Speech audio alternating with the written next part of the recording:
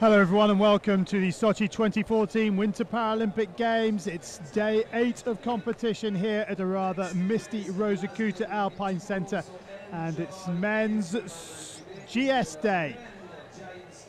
The last chance for the men to try and pick up a medal. The three categories are being raced today. Giant slalom visually impaired, standing and sitting. Now, the categories are based on the athlete's functional abilities, and you will see athletes with different impairments competing against each other in the same category. Uh, and this is made possible by a results calculation system based on a mathematical formula which uh, gives each class within a category a factor, and this is applied for individual time to give a level playing field. Now, the temperature just a little warmer than it has been with the cloud but uh, obviously not quite as cold as it has been with the bright sunshine. We are just getting ready for the men's giant slalom for the visually impaired. This is one of the four runners going down just to check that everything is okay. But at the top, everyone is still getting ready and just putting the final touches to their preparation.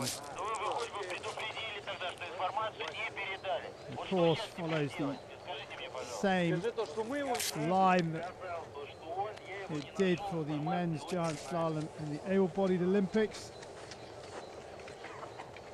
And it's a nice rhythmical course that has been set by Falke Tetsma of the Netherlands. Let's have a look now then at the start list for the men's giant slalom visually impaired run one and Jakob Krako number seven is the uh, defending Paralympic champion, but Jon Santacana, number uh, 14, is a silver medalist in Vancouver, but is the uh, reigning uh, para alpine world champion at the giant slalom discipline. Max Marcoux of Canada at number four uh, was a silver medalist uh, up in La Molina last year. We have 18 athletes going in total across three classes within the visual impairment category.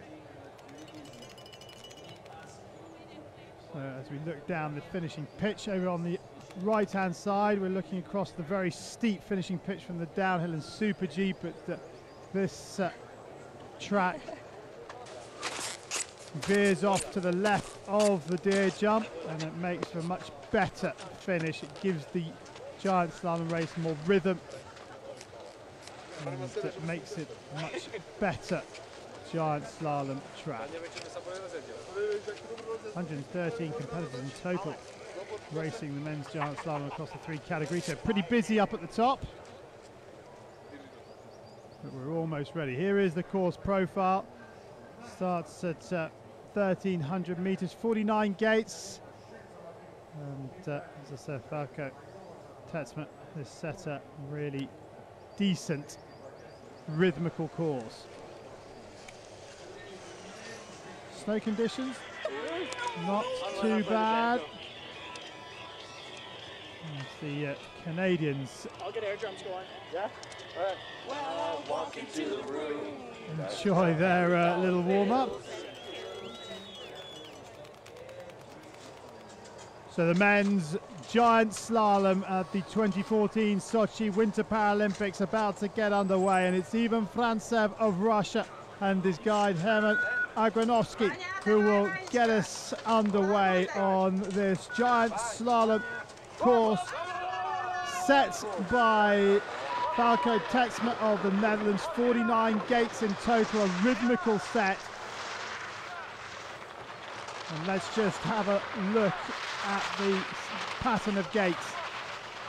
Now this is the bear jump, bear's brow jump, sorry, and uh, they snake their way across the flatter section between the bear's brow and the lake jump. Now giant slalom, of course, makes the skier work from top to bottom. There's no rest, there's no area where they can let up.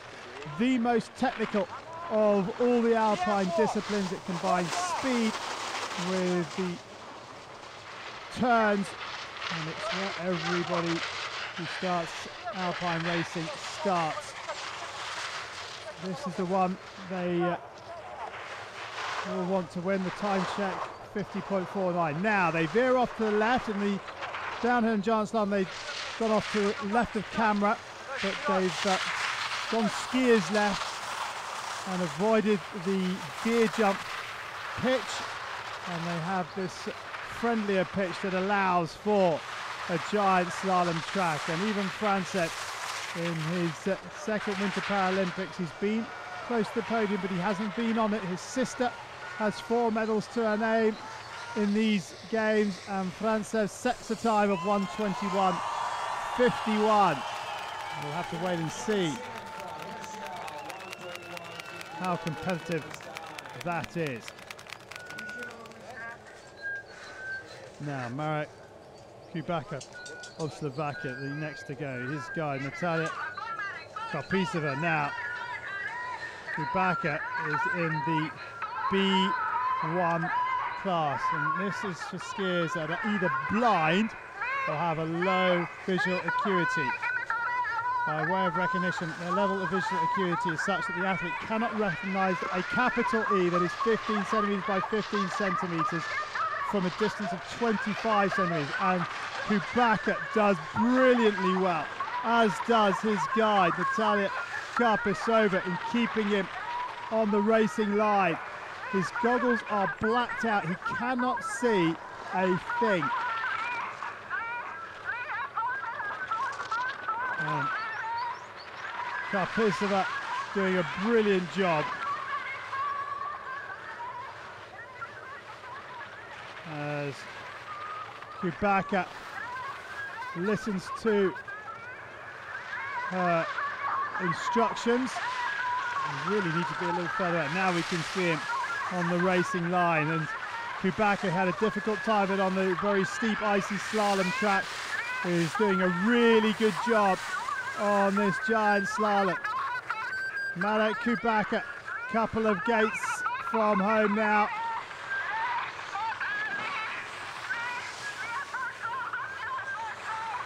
And Kubacka gets to the bottom, 124.69, 3.18 off the pace. Good job by both Kubacka and Karpisova.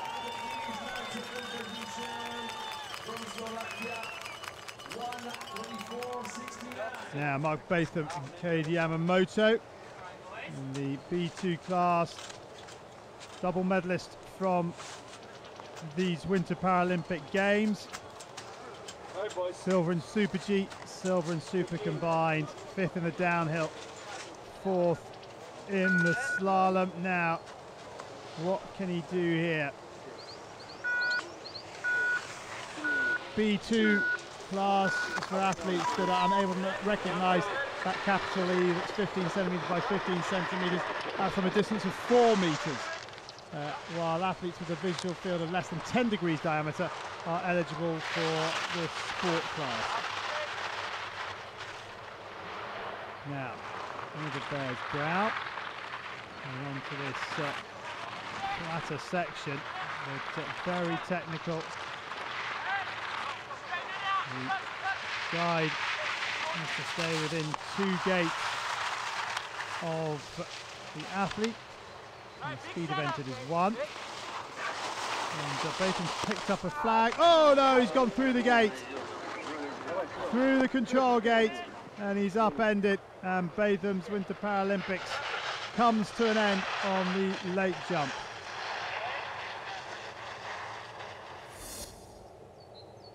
just cut it too tight and straddled and uh, no way back for the American from there.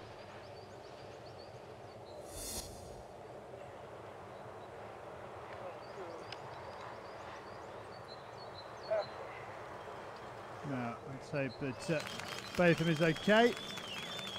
He's up on his feet, that's the main thing.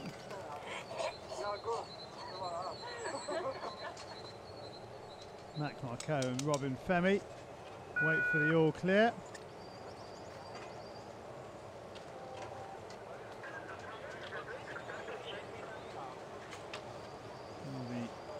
The course is uh, or the gate is repaired, and then uh, Bathum ushered from uh, the racetrack.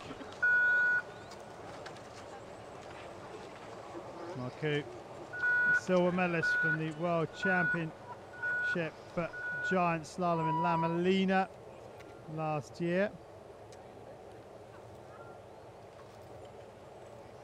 Uh, two bronze medals from uh, his competition so far in Sochi. Definitely a, a little bit colder than on previous days. Free to start. Can we All start? right, boys. Bring it big, man. All right. Ready, set, and let's get some, boys. Approximately 25 seconds. All right, man.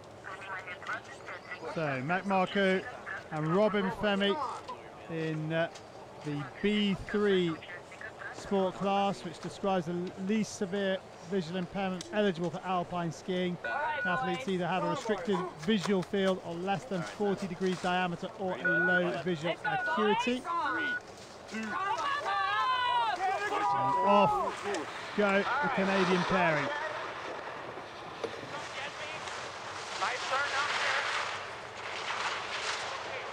Sammy trying to keep a watch on his uh, athletes and Marcoux does a good job over the terrain change of the Bears Brow.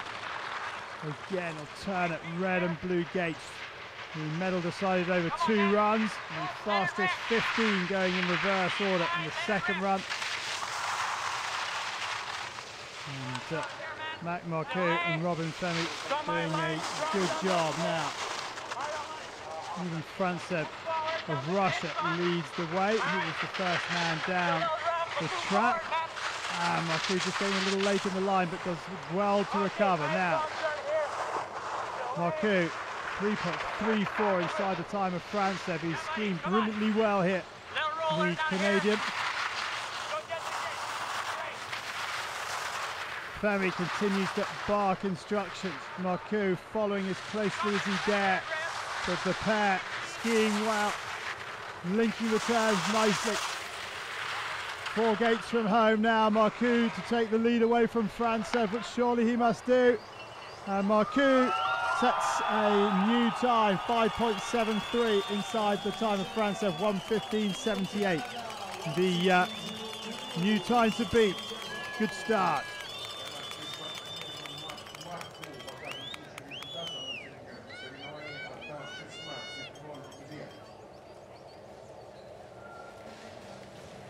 Oh, Mike Marcoux, I think, can That's a leg burner. be uh, pleased with that, and uh, All right. I'm sure there'll be a lot of burning legs. Who said GS, the toughest of all the disciplines. Now, Chris Williamson in the gate, his guide Nick Brush from right, boys, Canada, Let's bronze medalist Boys, we're going. In the men's slalom. And we'll uh, catch them up a little bit further down the piece. The uh, start intervals reduce, we don't get to see the whole run. And uh, well, Williamson goes second, but he's 5.27 off the pace of Marcoux. And usually you pick them up just after Bear's brows. Let's see what we do with Miroslav Haraus of Slovakia. Second in the World Cup standings in uh, giant slalom. Uh, won one race in Thredbo back in September. That's in Australia. Was second in the first race down in Thredbo. Won the second race. He was also second in San Moritz, the last race uh, before these games. He was second in and He started these games really well, and he's been skiing not too badly, but just just one error in each run has cost him. Now, how will he go on this uh, technical giant slalom course set by Falco Tetzma of the Netherlands? Needs to keep the rhythm going if he can. So testing course it has been set. Martin Motica is uh, the guy. And uh, Haraus late on that right ski turn. Oh, that's good strength. Really good core strength to pull himself up from there. And he's just 0.38 off the pace. In fact, this is Jakub Krako, so uh, Miroslav Haraus has been at the race.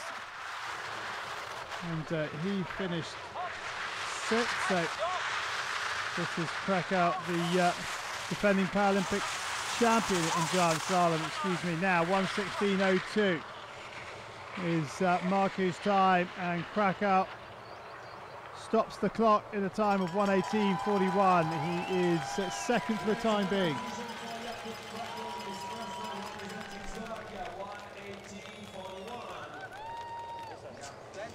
So another skier from Slovakia now, Radomir Dudas. And his guy, Michael Sterven. Third in Salt Lake in this discipline. Third in Sestriere, the World Para World Championship in 2011. But Matt Marcoux has set a blistering time on this first run of the men's giant slalom, and uh, nobody can keep up with him yet. Although we do have the uh, favourites still to come in terms of World Cup leaders and uh, reigning world champion, power world champion in the discipline. So Marcoux's time will get tested. A couple of skiers' time, but for the time being, he's too hot for everybody else. Dudas six, 7.29 off the pace.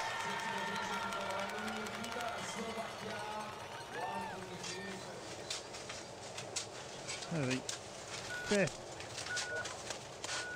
Slovakian in the race. Each country allowed five skiers per discipline, so this week's final Slovakian skier and uh, Michael Beladic and Philip Motika find themselves a long way off the pace, nearly seven seconds off the pace. Sixth in La Molina in giant slalom. And he did a decent slalom leg in the super combined here in uh, Sochi, but this very technical giant slalom course catching a lot of the skiers out.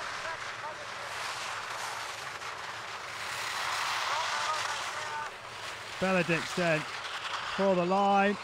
Well, he's a long way behind Marcoux at the uh, halfway point of this giant slalom race, 10.93 off the pace. Maciej Krezel of Poland, the next to go. He is in the B3 class. And Krezel, 13th in the World Cup, was third in the slalom run of the super combined, but couldn't convert that into a medal. His guide is Anna Ogarzynska. Ogarzynska leading the way. She's quite away in front of uh, Krezel, but now Krezel starts to catch up. And he stops the clock. 7.6 seconds off the pace. Now, Gabriel Juan Gorce Yepes, who won his first major medal in the men's super combined visually impaired category on day seven of competition. Gets it all wrong on the backside of the lake jump and uh, loses a lot of time. He gets back into the racing line. He's five seconds off at the uh, time check. And Gorce Yepes fourth on the World Cup Tour in the discipline of giant slalom. It was a big mistake.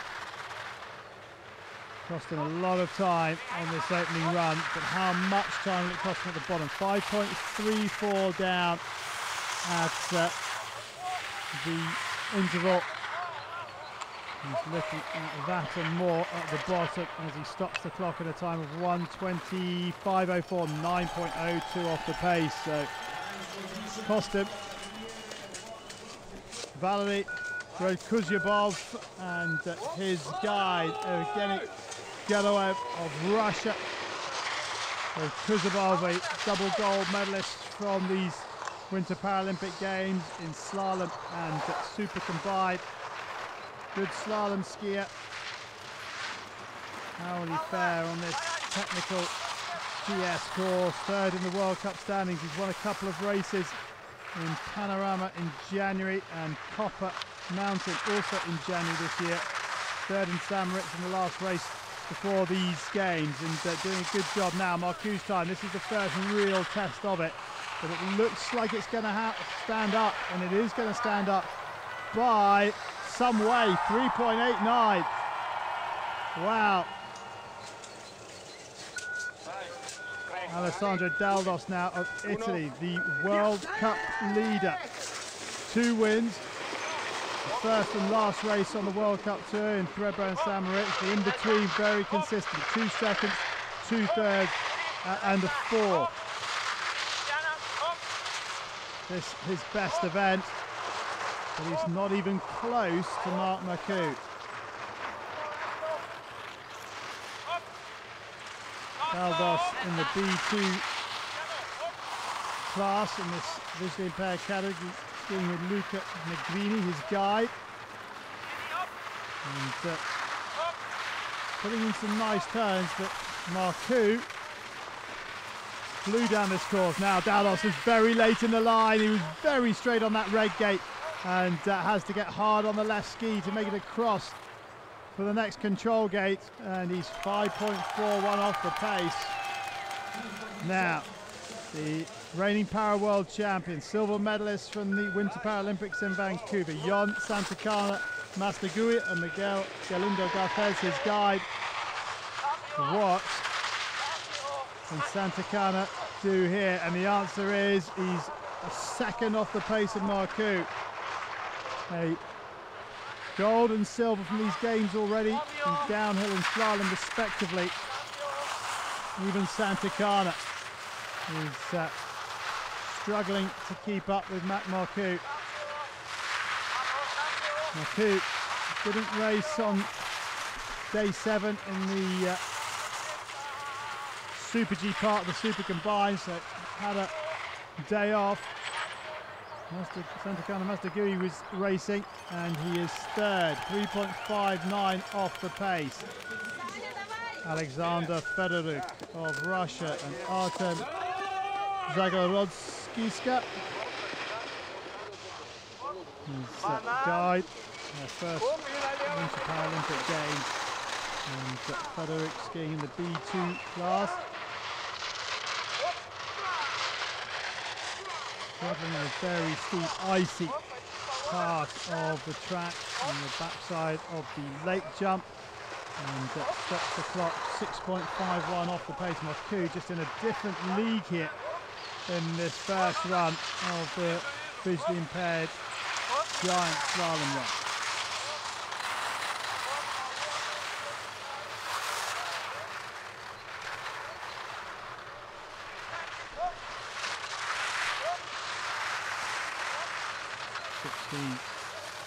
16.02 comes, goes, and how much will it go by?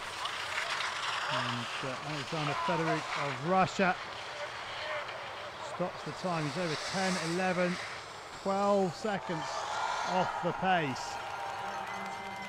Drops into uh, 14th slot. Now, Patrick Hetmer of the Czech Republic and Miroslav Mikala the next to go, again, the B2 class. Just to remind you that, that the class profile includes athletes that are unable to recognise a uh, capital letter E, which is 15 centimetres by 15 centimetres in size. Uh, from a distance of four meters, while athletes with a visual field of less than 10 degrees diameter are also eligible for this class. Three categories being raced today, visually impaired, standing and sitting. And the other categories just getting ready for their run. They wandered across the start gate, and Patrick Hetmer and Miroslav Mikala get ready to put down their challenge. His first major competition. He is underway. And Patrick Hetmer, 30 year old from Czech Republic. Off and racing. And oh, gets caught on the back skeet. Then he almost sketches an inside edge over Bear's brow. And uh, struggling on these icy, tricky conditions and getting late in the line. Now he's got the rhythm back. And he's still got to take on the pitch of the lake jump, which is also very icy and rutty. The wet, slushy snow frozen overnight. Although it's been slipped and flattened out, there are still big ruts. And he's really struggling. Oh, has to take that red gate on the inside ski, and he hangs on in there. 6.93 off the pace. And even the guide struggling on the blue gate, and as a result, Hetmer gets late in the line. Very difficult for the guide looking back if he then catches an edge. It's difficult to maintain the right line. Now Marcoux's time is certainly going to be the quickest. Uh, the first run. Hetmer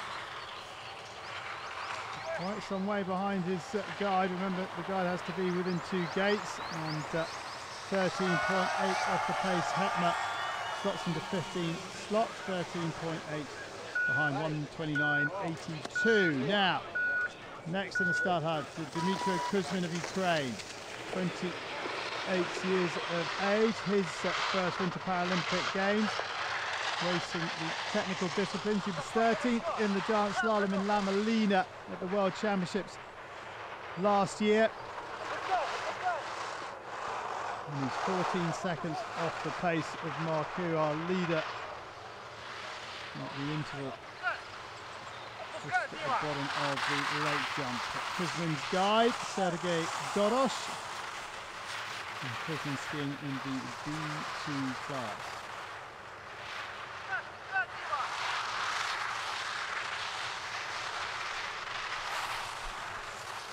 Now, Marcoux's time.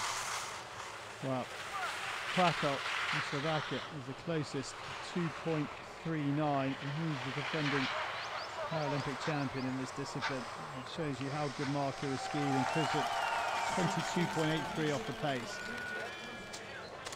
So the final skier in this visually impaired men's giant slalom first run is Damir Mizrak of Croatia, the lowest ranked skier of the 18 in this race. And at the halfway mark, he's already almost 21 seconds off the pace of Marcoux. 22 years of age. His first uh, major competition.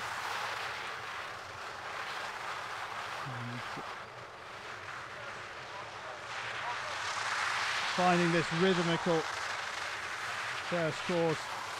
A challenge not only in the snow conditions it's a long course as well. As we heard Matt Marcoux say well, it's a leg burner. And here he comes now into the finish and 116.02 he is 35.25 seconds off the pace that he's got down. Well done to Damir Mizrak so after the first round of the men's giant slalom in the visually impaired category, it's Mac Marcoux of Canada who leads the way by a massive 2.39 seconds over Jakub Krako, the uh, defending champion in second, while the reigning para Alpine GS world champion Jon Santacana Maiztegui is in third.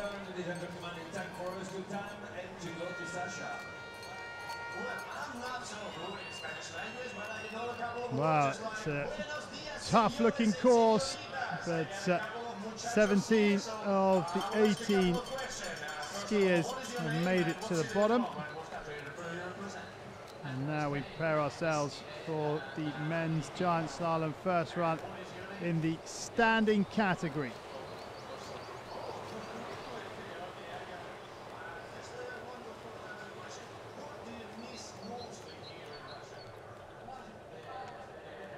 Let's have a look at the start list and Alexei Bugaev, the golden boy of Russian para-alpine skiing, gets us underway. But uh, Vincent Gauthier Manuel at number nine, he's the reigning world para GS champion.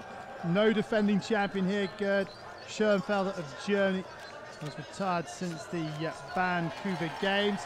But there are 49 races taking on this first run of the men's giant slalom standing category.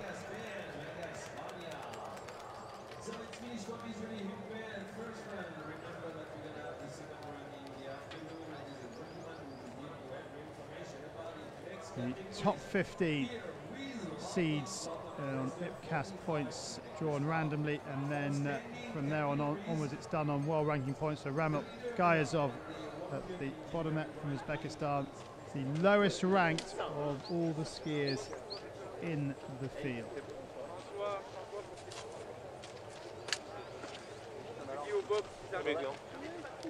27 there was uh, Vincent Gauthier Manuel. Martin France, Slovakia doing his warm-ups.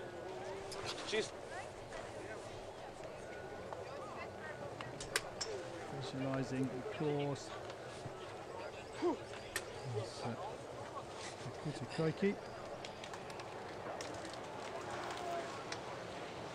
The men's giant slalom standing category is about to get underway and Alexei Bugaev, the multi-medalist from the Sochi Games, is the first to go. He is just on fire here. A brilliant skier. How will he go though in the most technical of all the alpine disciplines?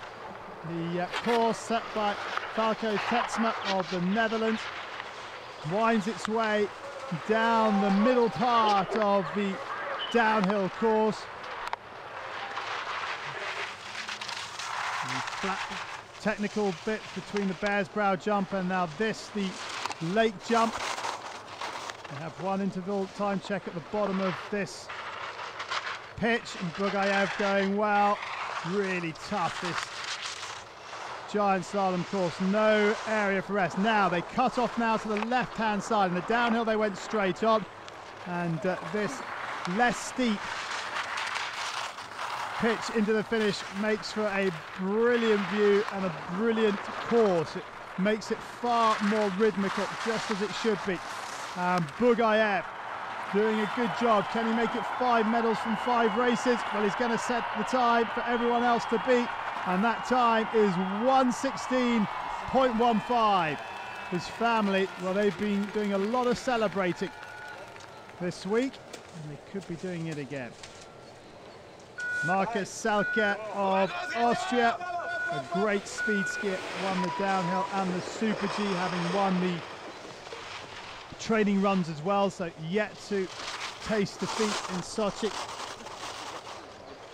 There are seven classes within the standing category here.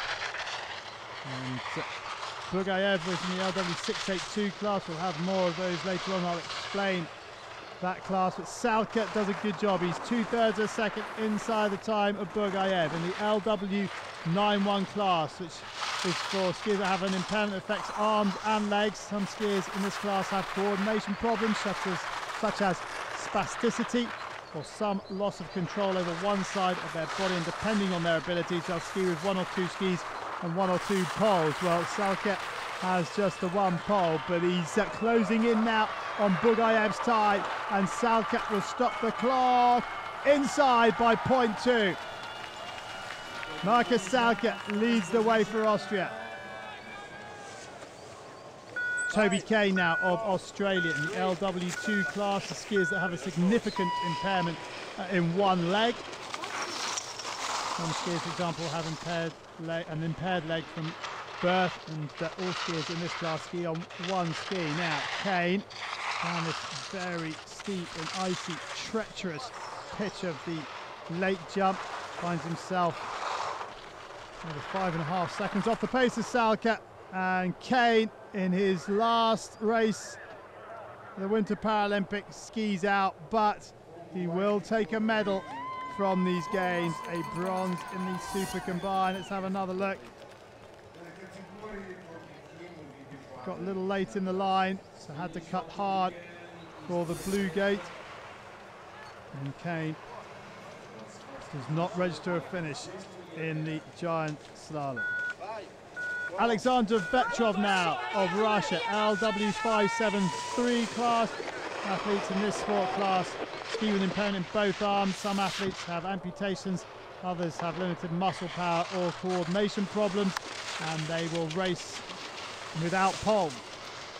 And Vetrov doing a good job, just two and a half seconds off the pace of Marcus Salcher of Austria, our leader so far in this first run. And Vetrov, couple of gates from home. 115.95 won't be beaten. He's not going to get inside the time of Alexei Bugaev, but Vetrov skiing the bottom part pretty decently. Comes to the line, one gate to go, stops the clock, 119.21, 3.26 off the pace of Marcus Salcher. Thomas now of Switzerland. 27 years of age.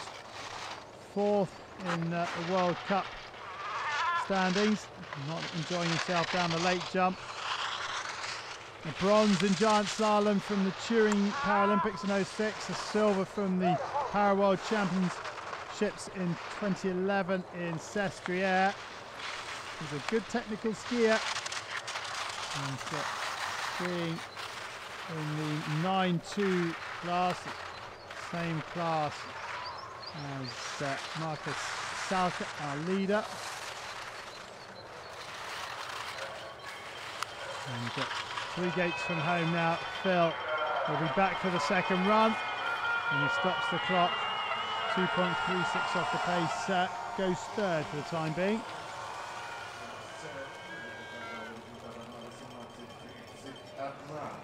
Time for the Russians to cheer again. Alexander Alyabyev in the LW682 class. Alyabyev, a bronze medalist in the slalom here at the Sochi Winter Paralympics.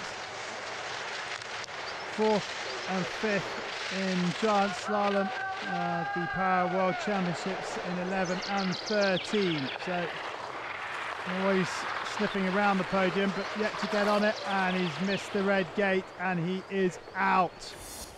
Real disappointment for Alyabyev. He's got the line wrong. And be taking no further part in the race. Gakuta Koike of Japan, the next race. First ever major finish the seventh in La Molina in the Para World Championships last year. And what can he do here? How will he fare on the opening run of this men's giant slalom in the category? Peter Kirk is seeing the LW 682 class.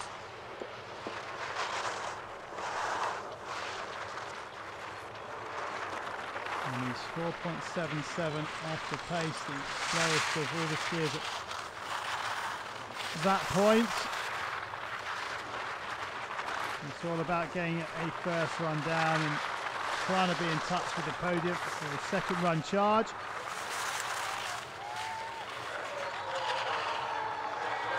Break it stops the clock at uh, 122.73, 6.78 off the pace.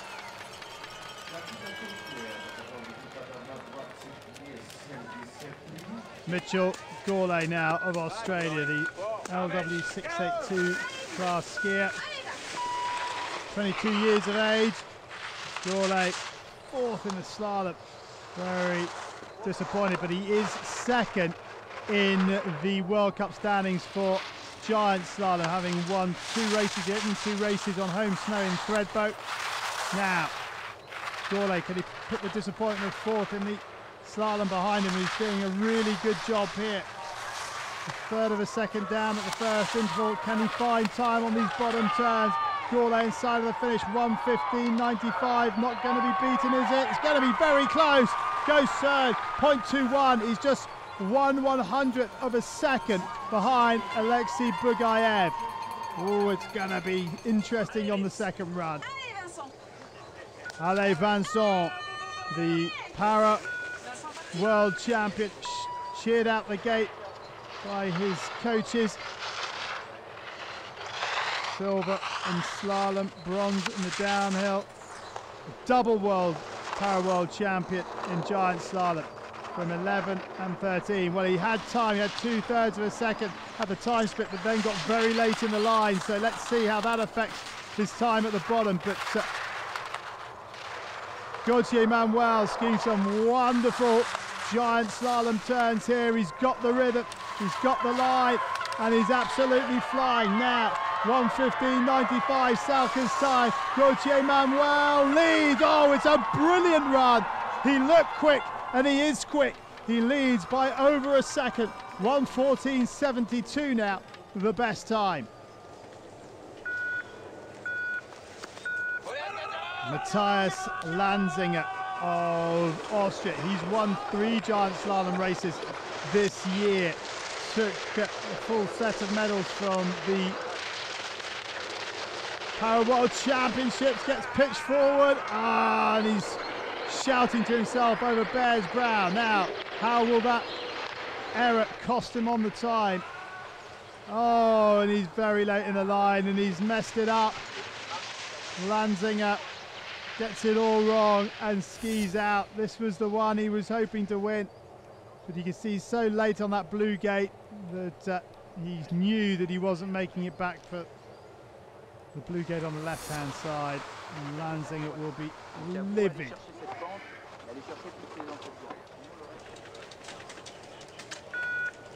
Now, Hiraku Misawa of Japan.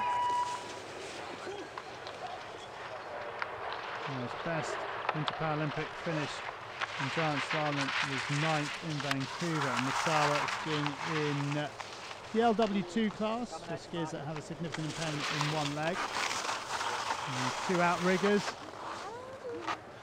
And uh, 19th in the World Cup standings, so it would be a surprise if he gets close to Gauthier Manuel's 46.63. Whoa! I thought he got it back. Real disappointment for Misawa. That would have been a brilliant recovery. But uh, sadly, no way back. The edge caught, then I thought he was going to get high-sided.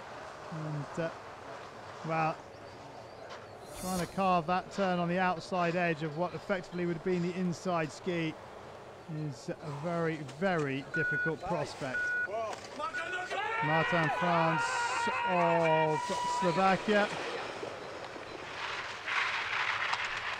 Being in LW9 1 class, the same class as Martin Salcher, who uh, sits in second place. The skiers that have an impairment uh, affects arm and legs.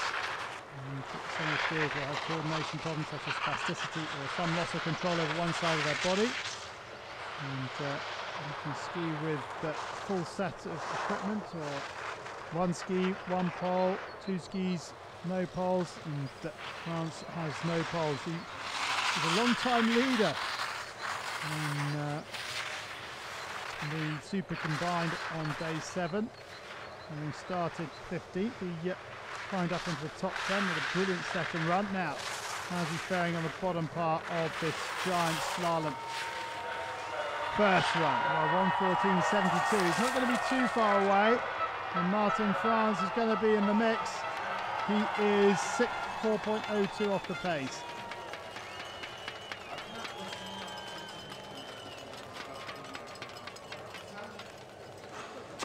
Michael Brugger of Switzerland now. Third at the uh, Winter Para Championships, Para World Championships, excuse me. He's 2.6 off the pace. Switzerland not having a good Winter Paralympic Games here. Can Brugger find the line? Can he keep the control? No medals for Switzerland in the Alpine disciplines here. And uh, Brugger stops the clock he's within four and a half seconds. Slots into seven. But uh, he's nearly three seconds off the podium. Romain Riboud of France, the next to go. Silver medalist from the Salt Lake Winter Paralympics back in 2002. And he went on to win the Para World Championships in giant slalom in uh, 2004 in Austria. Here in Sochi, he's 3.85 off the pace. That's, uh, the interval. Riboud in the LW92 class.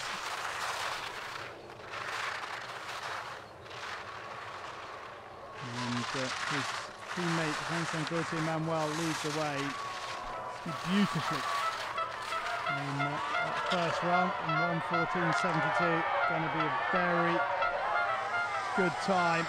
Riboud ninth 6.32 off the pace.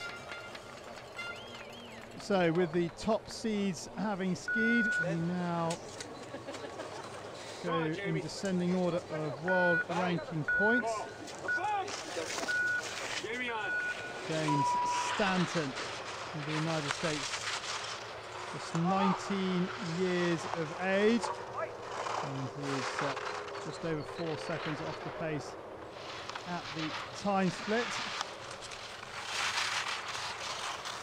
Well, with 10 finishes so far, there is space in the top 15. The fastest 15 go in reverse order, and then we go from 16 to the end. So in order to give yourself the best conditions, top 15 finish would be good, and Stanton is 10 for the time being, 7.55 off the pace. So space for others to ski into. Cedric Amafroi-Broisat of France, the next to go. Never got inside the top 10 in giant slalom at a major championship. But uh, showed some pretty decent form in the super combined. This discipline of giant slalom is a brutal one, and well, we saw Matthias Lanzinger go out at that point, and Cedric Amafroi-Broisat exits at the same place. So disappointment for Amafroi-Broisat.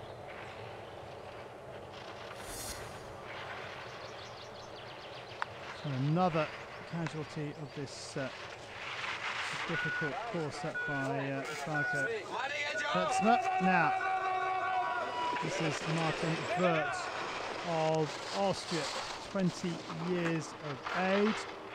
He's uh, first into Paralympics. And Wirtz doing a good job on the opening turns, and he's uh, just outside four seconds of uh, Vincent Gauthier's uh, factored time.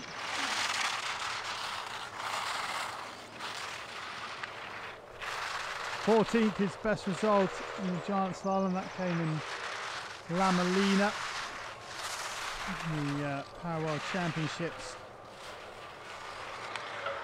last year, and 114.72. is uh, 6.21 seconds too quick for Martin Wirtz. Now, Nicolo Maria Orsini of Italy in his first Winter Paralympic Games is uh, out of the start hut. The LW 682 class. The skiers that have an impairment in one arm. Skiers will compete with one ski pole only. Also skiers with combined arm and leg impairment ski in this class. And Orsini into the final few turns. And he finds himself a top 10 spot. And he's inside 121.04. He's outside his 13th, 8.81 off the pace. Christoph Vai. Of Switzerland doesn't mind giant slalom, came 10th at the Para World Championships in La Molina. Now, how will he go? In these turns on the backside of Bear's Brow, and he's holding the line, he's battling the line, he's getting later and later, and he's uh, got it back together, but it was uh, heart in the mouth time for Over the lake jump. Now, into the final pattern of gates before the finish. Just a little late in the line in the red gate. And it will cost him. 114.72, he is almost 10 seconds off the pace.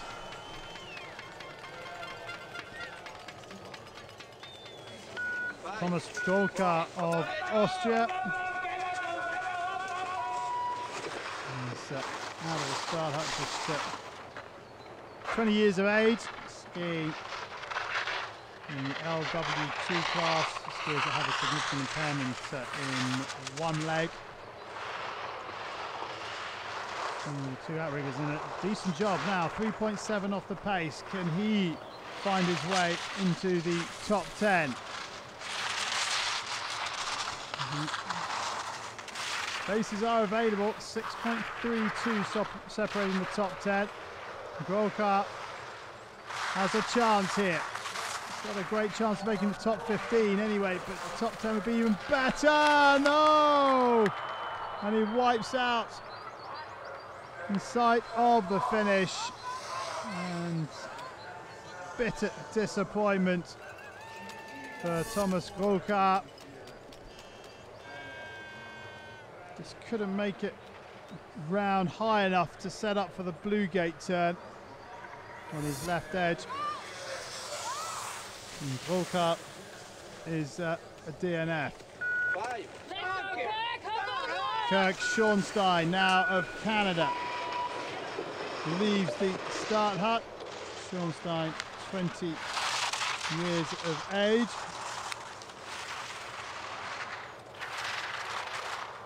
Raced in Vancouver in Giant Slalom where he was uh, 26th on home snow. And Schornstein will uh, make it to the bottom and he will stop the clock. 12th place, so Schornstein could be inside the top 15 come the second run.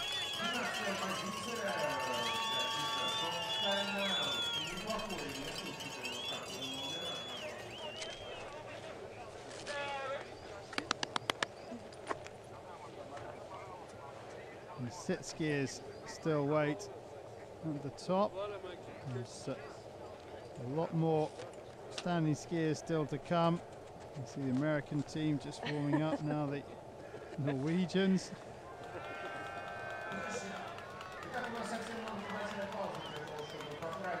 Great atmosphere down in the finish. And the Japanese flags will be waving next because it's Masahiko Tokai of uh, Japan is about to leave. The Russian coaches have had an excellent alpine Winter Paralympic Games.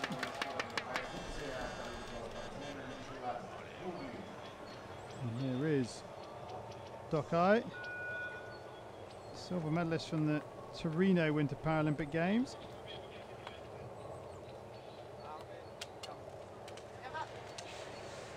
Slalom world champion as well in 2004. 40 years of age.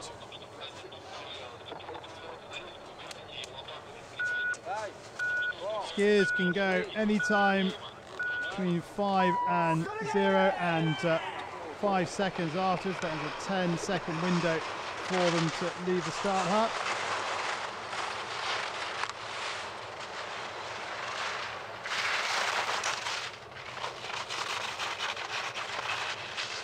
And uh, hard on that left ski to make the red gate on the top of the bear's brow.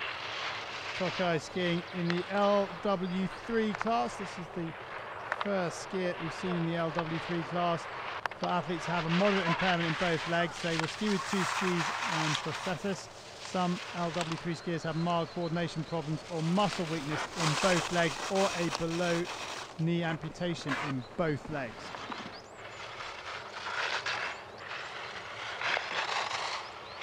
Tokai not enjoy the backside of the lake jump.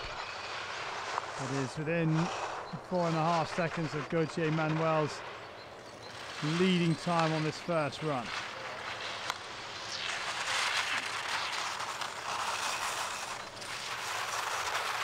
Forty-nine skiers in total tackling this first giant slalom run in the men's standing category. And Tokai preferring these bottom turns. It gets a little late in the line, but he'll reach the bottom in a time of 121.85. 7.3 off the pace. It's 11. Uh, top 15 finish beckons for Tokai. Hans-Jörg Lachner now of Italy. Results in the giant slalom in the Para World Championships. 15th in La Molina, 18th in Sestriere on home snow, and uh, Lachner is seven and a half seconds off the pace, skiing in the LW 9-2 class. The skiers uh, have impairments that affect arms and legs. Always coordination problems.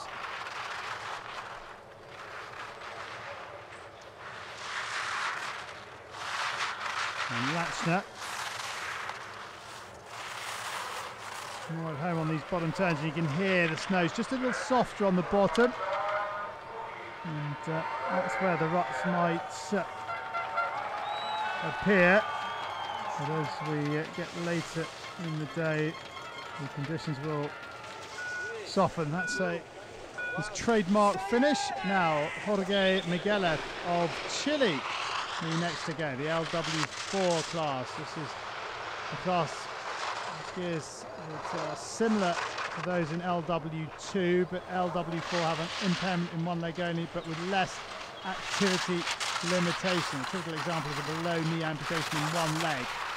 And they uh, use the two skis.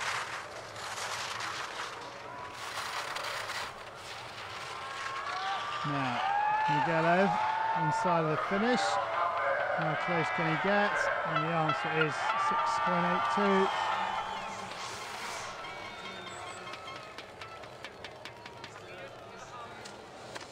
Five, four, three, Now this is Jorge Miguel. My, uh, my mistake, apologies. Because uh, the Japanese skier Toshihiro Abe before. He uh, did well, Abe into 11th place, the 42 year old. Now this is Miguel 7.1 off the pace.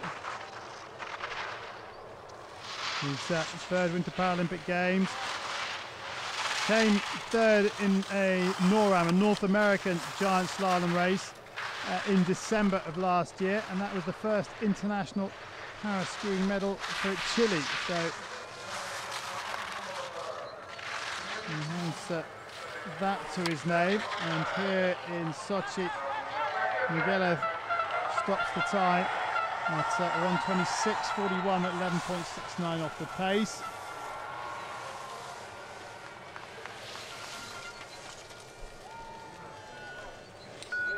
Martin Falk of Austria, a former Winter Paralympic medalist in slalom in Salt Lake 2002 was uh, Paralympic Games and at the uh, first time split he's 5.78 off the pace now. Falk good and early in the line on those top two gates just getting bounced around a little bit on these lower turns as he runs late in the line and comes over the ruts that are forming in the snow.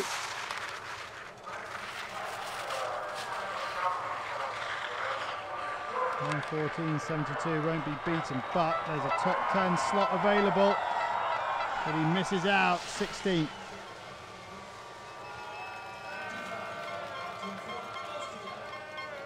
Now, Ralph Green of the United States of America, the first African American to represent the US Para Alpine ski team.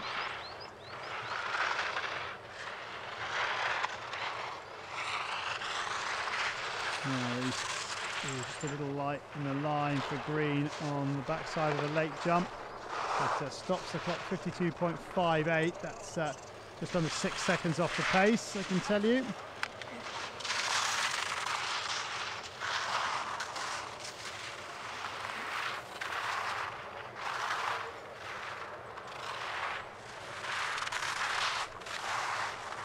And Green picking his way down through these lower turns, but very, very late in the line. And he'll be back for the second run. And he won't be inside the top 15, 18th for the time being, 9.48 off the pace. Good job from Green. So 22 remain in this uh, men's giant slalom standing category. And the first of them is Jochi Roethlisberger. Son of Slav Loskett, who's supposed to be next out the gate, is a, a non-starter. So I think there's 21 left. And uh, Roethlisberger is uh, 7.66 off the pace. Being the LW571 class, athletes in this sport class have an impairment in both arms. Some athletes have amputations, others have limited muscle power or coordination problems, uh, and they will race without ski poles. So, Roethlisberger stops the time 11 seconds, 12 seconds off the pace, 21st. Now, Alexander Akhmadulin of Russia. He's uh, first Winter Paralympic Games. Similar class to Roethlisberger. And uh,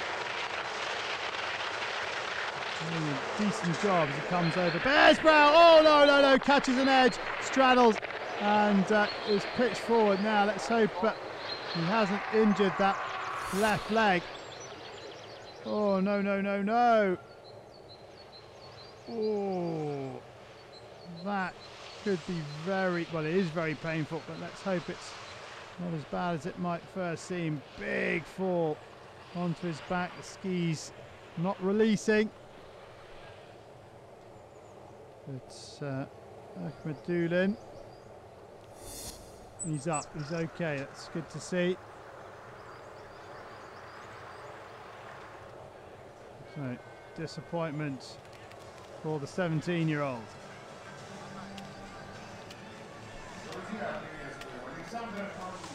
So, Jonathan Lujan of the United States,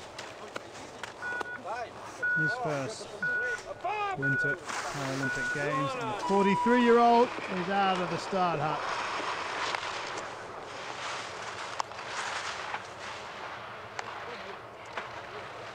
Now we'll get to see Ryan's full run here, I think, because of Akhmadulin's uh, early exit. And Lujan Not too badly over the Bears' brow, but got late on the line in that red gate. Chatting to himself all the way down.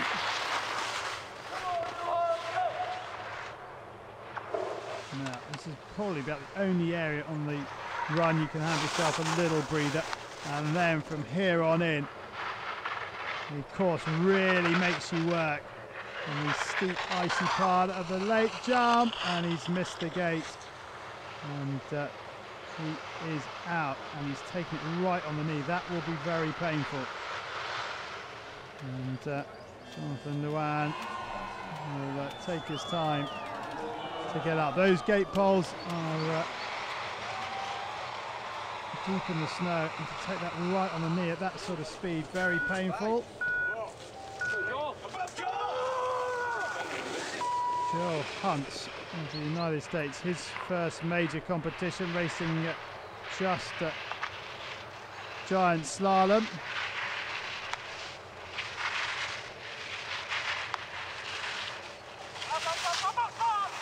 And uh,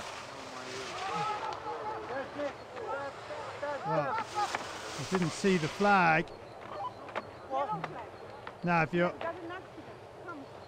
wondering why this happens, it's because the starting intervals between the uh, skiers between the skiers is not 1 minute 27 so they don't wait for one skier to get to the bottom before they send the next one out. They uh, there's two skiers on the course at any one time. So if uh, someone falls then uh, sadly the skier on the piste uh, gets yellow flag they do get to rerun. So uh, we will see uh, Hunt ski again and uh, he will uh, get taken back up to the top. So we'll have a pause in proceedings while uh, Jonathan Lujan is uh, just treated. And uh, that'll be a very, very painful knock.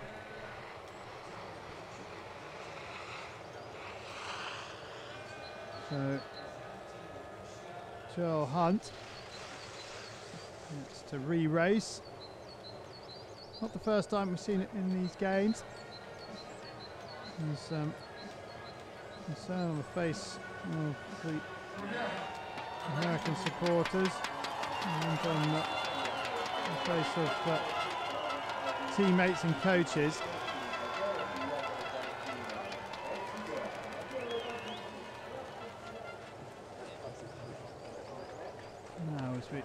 Go back up, see uh, Mehmet Cekic, Turkey there.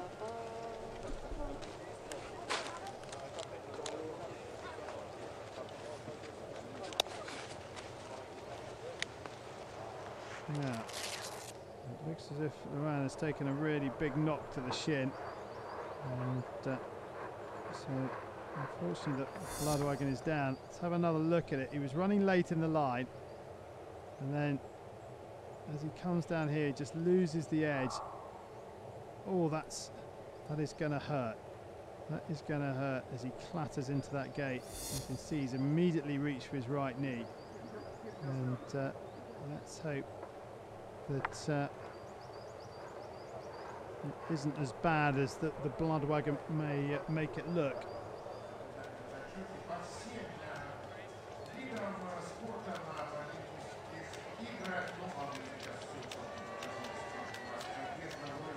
Good atmosphere down at the bottom.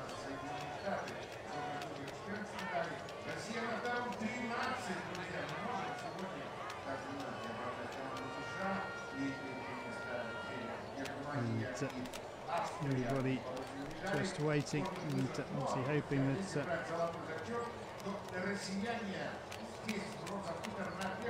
Jonathan Lujan is okay. Robin Cuche is the next out of the start hut. So the 15 year old has uh, that difficult task of waiting. Having psyched himself up for the run.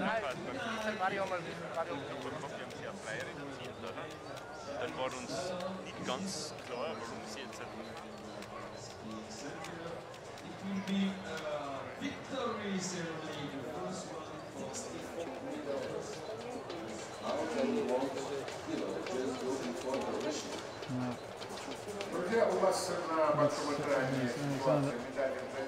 Akhmadulin. All kinds of disappointment with his uh, ski outs. The British fans are waiting for James uh, Whitley. And technicians still doing their thing at the top of the piece to ensure that uh, their athletes have the best possible uh, equipment. That's Fukutaro Yamazaki of Japan, who's, uh, as you can see, going at bib number 55.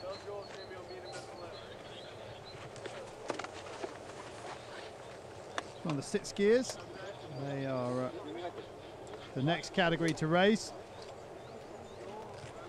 This pause in proceedings is uh, because of an injury to uh, Jonathan Lujan of the USA.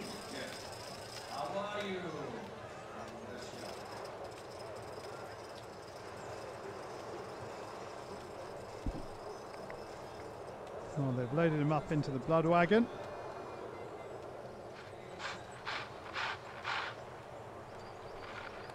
And uh, still we wait. I'll, I'll bring you news of Lujan just as, uh, soon as we can. The Swiss coaches wait for Robin Cuche. Just out of the gate.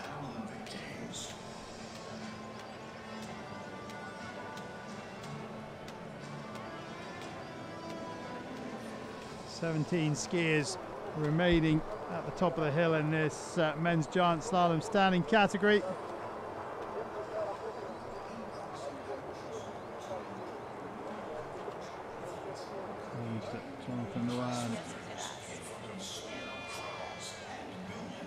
Almost ready to be taken off the mountain.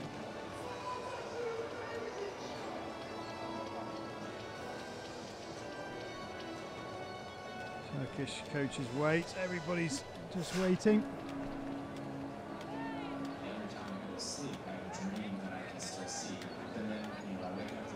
Carlos Javier Cadena Tomatis. Ayuda There he Chile, is. Argentina. Lo mejor, ahí están. Raced in the snowboard cross as well as uh, the slalom and uh, GS. no, Italy, Turkey. Italy is, where is uh, Italy? It's a very good atmosphere at the top of the mountain now. Lujan being taken away in the blood wagon.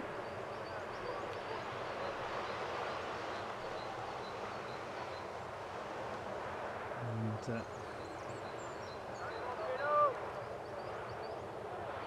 let's hope that uh, he is okay. Remember, that uh, Joel Hunt was yellow flag, so he's been taken back up the top for a rerun. Not exactly sure when he will go, but at some stage between now and the end of the category. Good work from the medics.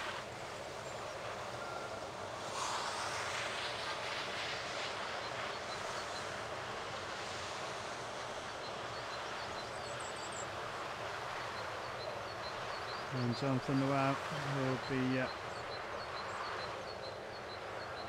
just away to the medical centre.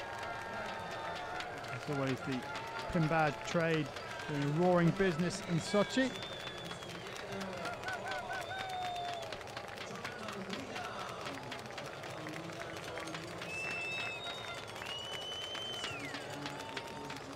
Not skis you regularly see, well not flags you see regular ski races, the Mexican, the Argentinian.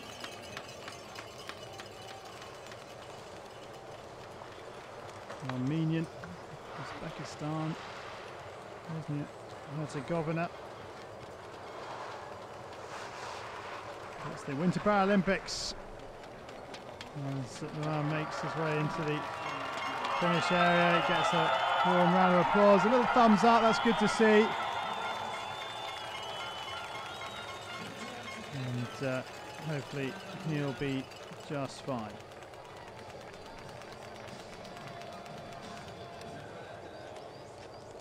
So you can uh, get back to the racing shortly. As Jesper Balkan of Belgium just goes through his last warm-ups.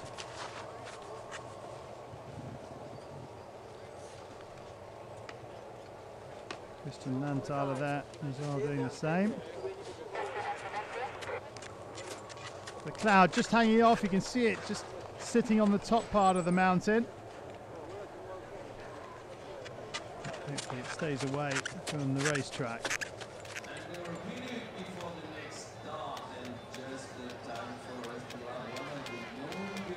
Our first serious delay of uh, the competition. Fortunately, not for a uh, serious looking injury. But, uh, bad enough that uh, Ryan can't make his own way off the mountain. So here we go there. Robin Cuche gets this uh, men's giant slalom standing category race back underway after the injury pause for Jonathan Lujan of the United States and Cuche, the 15-year-old nephew of Didier Cuche, arguably Switzerland's finest speed skier from the daunting Hahnenkamm. Five times Didier Cuche.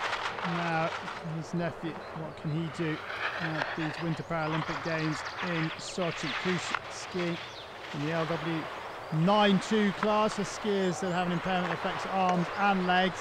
Some skiers in this class have coordination problems such as spasticity or some loss of control over one side of their body. And depending on their ability, they will ski with one or two skis and one or two poles. Now, Cuche over the backside of the lake jump. These are these tricky turns. It of cause many a skier problem, and he does well. He hangs on in there, and it stops the clock at 5.41 off the pace. Now, Cuche how will he fare on these bottom turns? It's just softening up a little bit on the bottom. He needs to stay as high as he can in the line, not to get bumped out by the ruts that have formed in the racing line. He's just a little wide on that red gate, but gets it back together pretty quickly.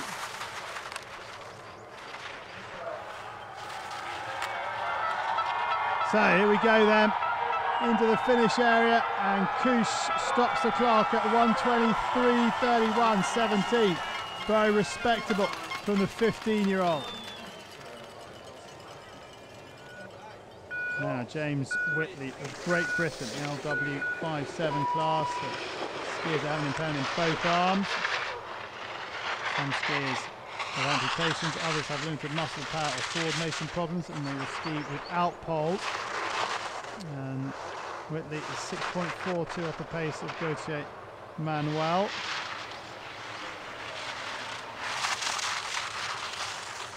Skiers in the second half of the field in this uh, men's giant slalom standing category in descending world rank order. And Whitley, 16 years of age, stops the clock at a time of 124.64, goes 21st. 9.92 off the pace, but uh, his family are chuffed. Andre Szczesny now of Poland. Yeah, next to go. Szczesny, his second Winter Paralympic Games, 25th at the Vancouver Paralympics. His special vote in GS was a fifth place finish in the 2004 World Cup in Austria. Szczesny, 31 years of age, is 9.33 off the pace at uh, the first intermediate time check.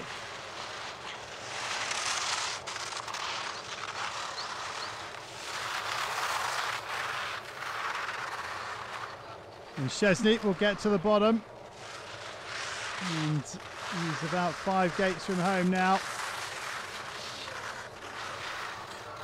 Last steep pitch now onto the flat area. And Szczesny stops the clock. Over 10 seconds off the pace. 129.43, 14.71 off the pace. Goes into 25th position. Now Christian Lanthaler of Italy. Another skier whose best results came at the 2004 World Cup and he's got the line very wrong there.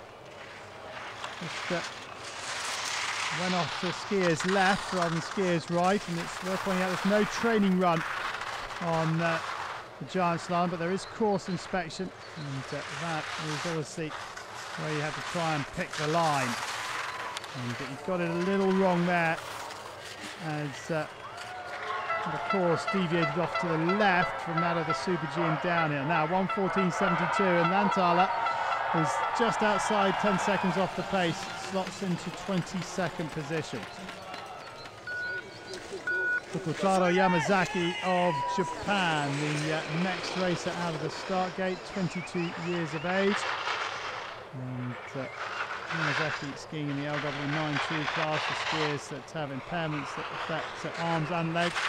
Some skiers in this class have uh, coordination problems, such as uh, spasticity, and some loss of control over one side of their body, and depending on their abilities, they ski with one or two skis and one or two poles.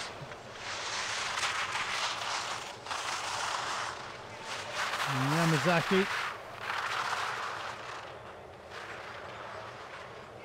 comes onto the final pitch, the final turns before the finish. And uh, Yamazaki will stop the clock at 130, 147. Slots into 27th position. All the skiers that finish will be back for the second run. Jasper Balkan of Belgium, the next to race. 20th at the Giant Slalom in the World Championships. Uh, his aims coming into these games, well, he wants top 10 if he can, and then he wants to medal in 2018 in Pyeongchang at the Winter, Olymp Winter Paralympics then. 21 years of age.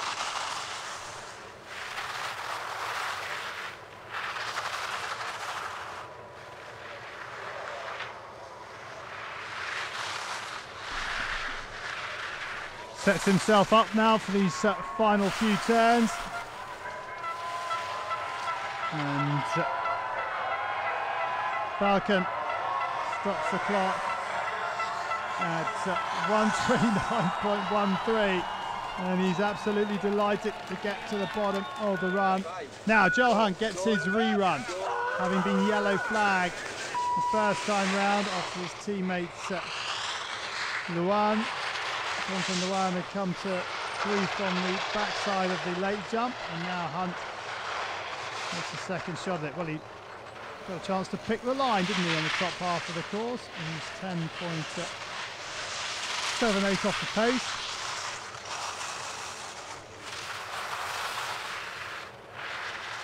And Hunt sets up for the final pitch.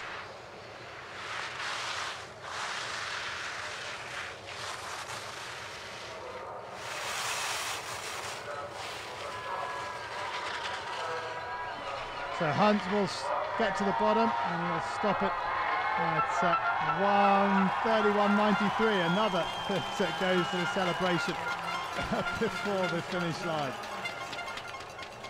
Mads Andreasen of Norway, the uh, next to ski his first Winter Paralympic Games. And he started racing three years ago. And 7.86 off the pace at the first time check. Andreasen skiing the LW681 class.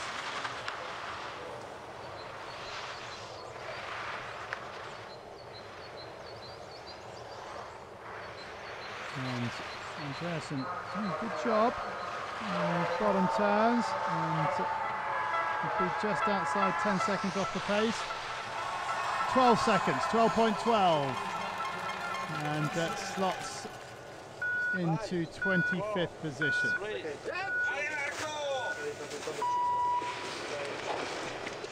Now, next down the slide is uh, Marco Zanotti of Italy.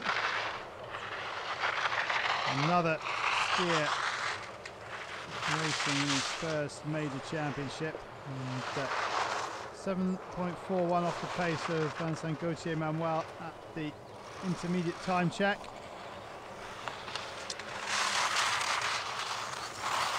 These bottom turns got a lovely rhythm to them as they snake across and down the piece. Real test for all the skiers. Absolutely no margin to rest. And Zanotti will be back for the second run. He's 11.49 off the pace. 23rd for time being.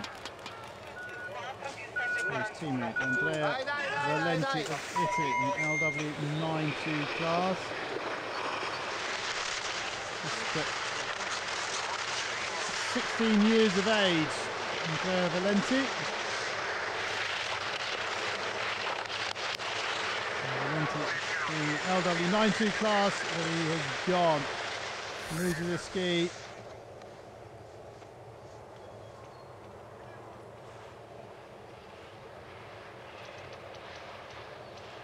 Well, ski just pops away. He's had an equipment failure there, I'm afraid. He shouldn't just pop out because of that.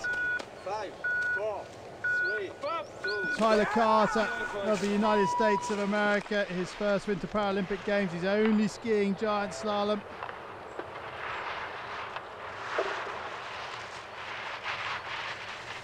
How will he go in his uh, introduction to the Sochi Winter Paralympics?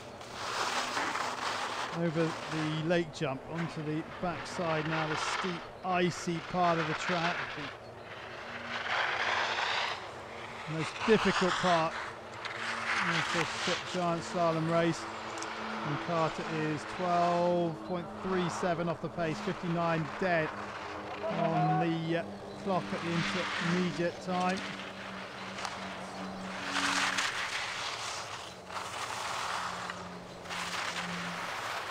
Carter looking to try and uh, perhaps overtake some of the skiers in front of him, such as Zanotti and Andreasen. 114.72 won't be beaten. But uh, Carter stops the clock at 133.62, 32nd in uh, the first run of the men's giant slalom standing category. Carlos Javier Cadena Tomatis of Argentina in the LW4 class. Skiers that uh, are similar to those in LW2 but have an impairment in one leg only with less activity limitation. A typical example is a below knee amputation in one leg. And he's very wide on the entry to the final pitch. Took part in uh, that historic day, day seven of competition, when uh, para snowboarding was welcome to the Winter Paralympic Games.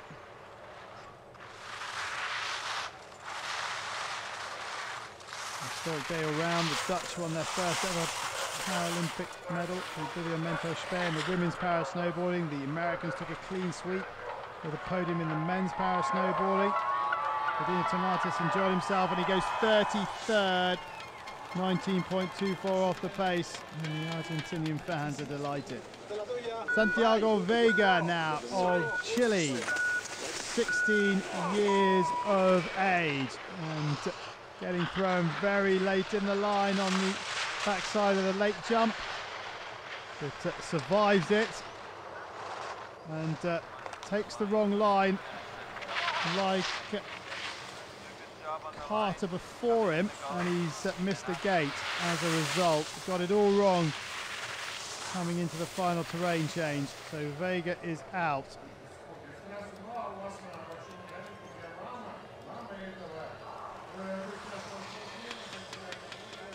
Disappointment for Vega.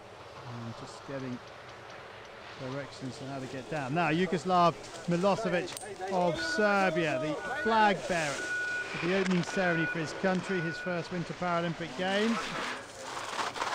45 years of age. Now, picks his way down the lake jump, a little speed check before the red gate. And uh, make sure, make sure of these turns. Dina Tomatis is 33rd, 133.96. 19 seconds off the pace, and Milosevic 16 seconds off the pace at the intermediate time. He's going to get inside the time of Kadina Tomatis.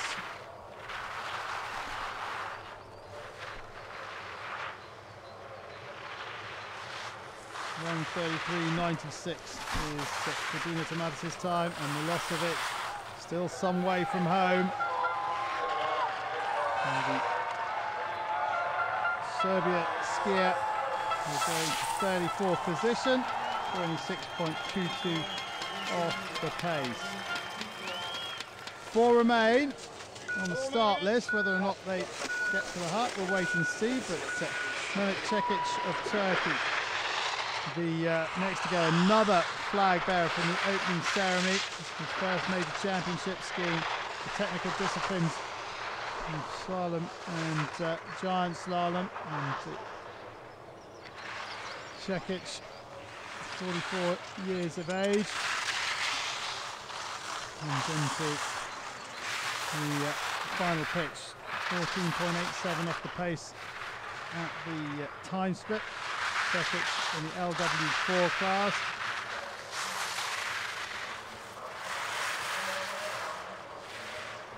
140.94 Milosevic's time. And Cekic going to come inside that, is he? Yes, he is. 34 for Cekic. Uh, 2.6 seconds in front of Milosevic. Now, this is Matt Avanesyan of Armenia and the LW571 class and uh, the backside of the lake jump catches him out and uh, he's out Oh, of the run. Let's have another look. Yeah, just got too late in the line and then got caught in the snow on the side and that is the end for Avanesyan of Armenia. Now, Senad Turkovic of Bosnia-Herzegovina some race slalom and GS here didn't finish the uh, slalom runs. Only fair here in giant slalom in the LW4 class.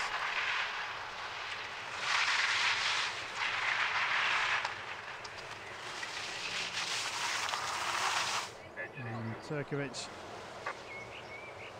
working his way down these gates and now coming to this very, very difficult lake jump. And uh, later and later in the line, but uh, manages to make the right ski turn across to the blue gate. And uh, he's through that difficult section. 46.63, well that's not really relevant. Now, can he get the line right into this final pitch?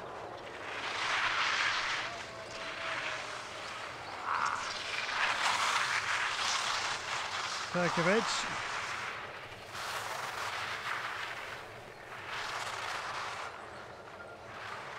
Inside to the finish now. The last skier in this standing category because Ronald Gazov of Uzbekistan is a non-starter.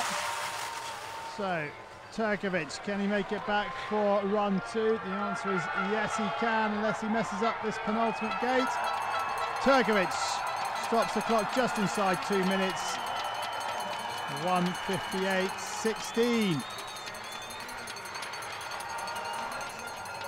So that concludes the uh, first run of the men's giant slalom standing category.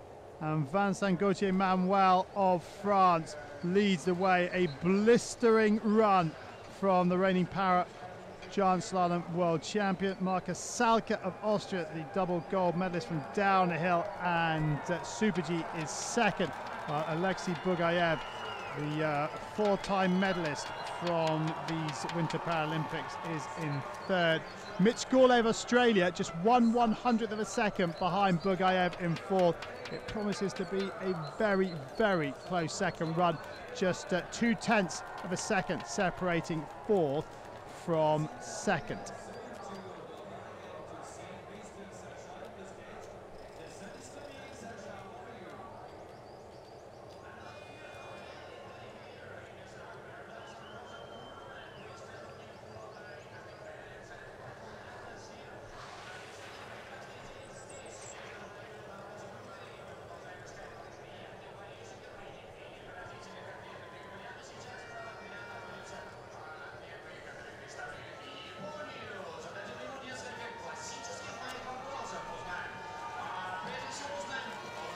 So now we wait for the start of the men's giant slalom sitting category first run. 45 competitors on the start list. Let's have a look at that start list. And there's no defending Paralympic champion Martin Braxenthaler of Germany, has since retired from skiing after the Vancouver Games. Josh Dueck there, number nine, gold medalist in the super combined, but the uh, Para World champion is uh, Taiki Mori of Japan, number 10. The silver medalist from Vancouver, Christoph Kunz. He's uh, skiing at bib number 78. And the cutoff point for the uh, athletes. Is uh, Frederic Francois, number 82, and then we go in descending world ranking points, and uh, Kalaris of Greece will uh, conclude the first run of the men's giant slalom sitting category.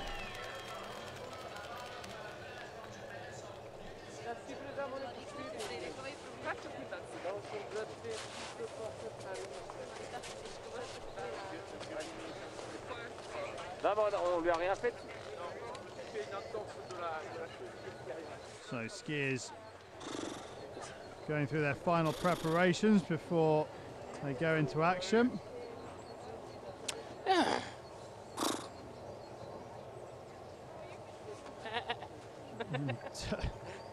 And Taberlet taking us through his uh, farmyard noises.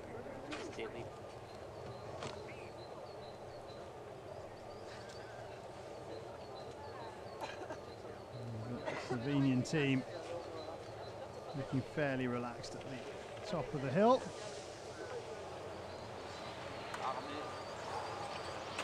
The men's giant slalom sitting category about to get underway and Roman Rabl of Austria will be the first man down this men's giant slalom slope. The course set by Falco Tetsma of the Netherlands. It's a pretty fair flowing technical course, but giant slalom, well, it's where they all started racing. It combines the speed and technical ability. It's the hardest discipline to get right. You can ski it many, many times and never ski the perfect run. And Roman Rabl, bronze medalist in the slalom and super combined. He's uh, setting a pretty decent pace. Now this is the toughest part of the course on the backside of what was the lake jump in the downhill. And Roman Rabl bouncing between the turns, making it look effortless, but battling all the way. Now, oh, there's a big hole there. And the men's downhill, the carries very steep and very difficult and not conducive to a good giant slalom track, but uh, the alternative route, the men's giant slalom track from the able-bodied Olympics is a perfect track and Rabl has skied what seems to be a pretty decent run and stops the clock at 118.87. We'll have to wait and see how good that is. Caleb Brousseau of Canada next to tackle this GS course late on that red gate, but gets it back brilliantly well. He's late again. Oh, it's a battle for Brousseau, but he survives just. And uh, by skiing the rounder line, he is off the pace by 1.34. Remember that the giant slalom medals are decided over two runs. The fastest 15 from the first run. Oh, go in reverse order in the second run. And the outrigger just catches the gate. And Brousseau spins out of the men's giant slalom. Just coming in here. He's flying nicely and just catches the rigger on the inside. In fact, the rigger hits the snow and bounces inside. He didn't place it there, it got bounced there. And, uh, well, when you're travelling as quickly as these athletes, that will uh, definitely put you on the snow.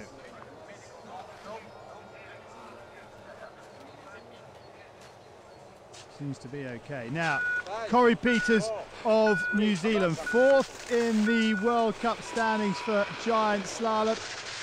Two second place finishes in Thredbo at the start of the season. He backed it up with a second place finish in Copper Mountain.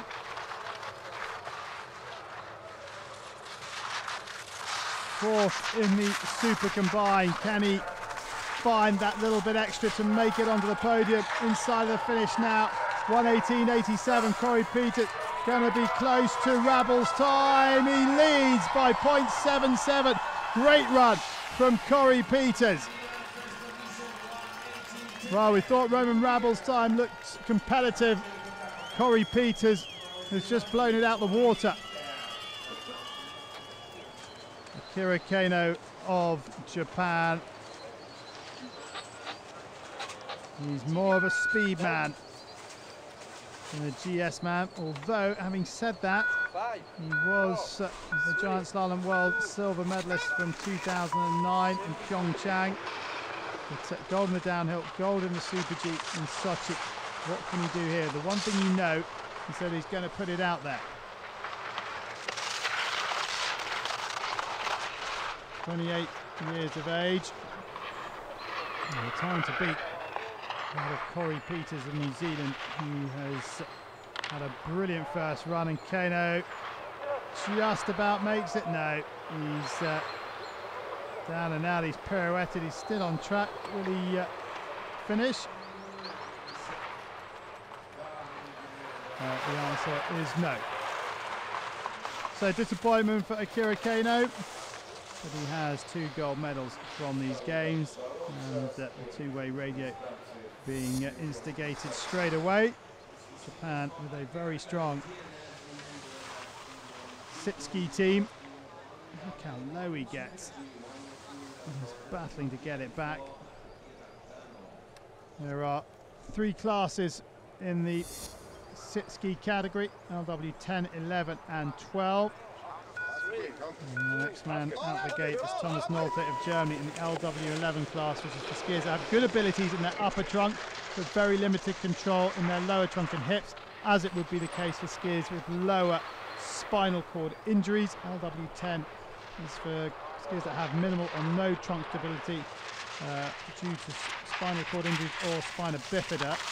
And they rely mainly on their arms. LW12 so that is, includes skiers with normal or only slightly decreased trunk function and leg impairments. In fact, some of the standing skiers in LW1 and to 4 classes can choose to uh, start their careers as sit skiers.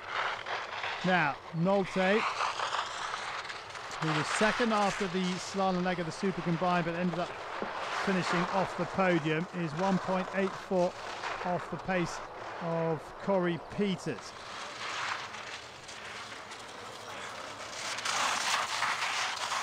13th of the Vancouver Games. What can he do on this first run of this giant slalom race? Peter's time will uh, get some test a little later on. And Nolte is third outside the time of Peters. Christopher Devlin Young of the United States of America, the oldest athlete in the alpine skiing discipline at 52 years of age. Devlin Young skiing in the LW12 class. His fourth Winter Paralympic Games. He has been a uh, world champion in this discipline 10 years ago. Will he be back for the second run? The answer is yes. Where will he finish? Gets the outriggers up and he's fourth, 4.13 off the pace. Next up it's Takeshi Suzuki of Japan in the LW12-2 class.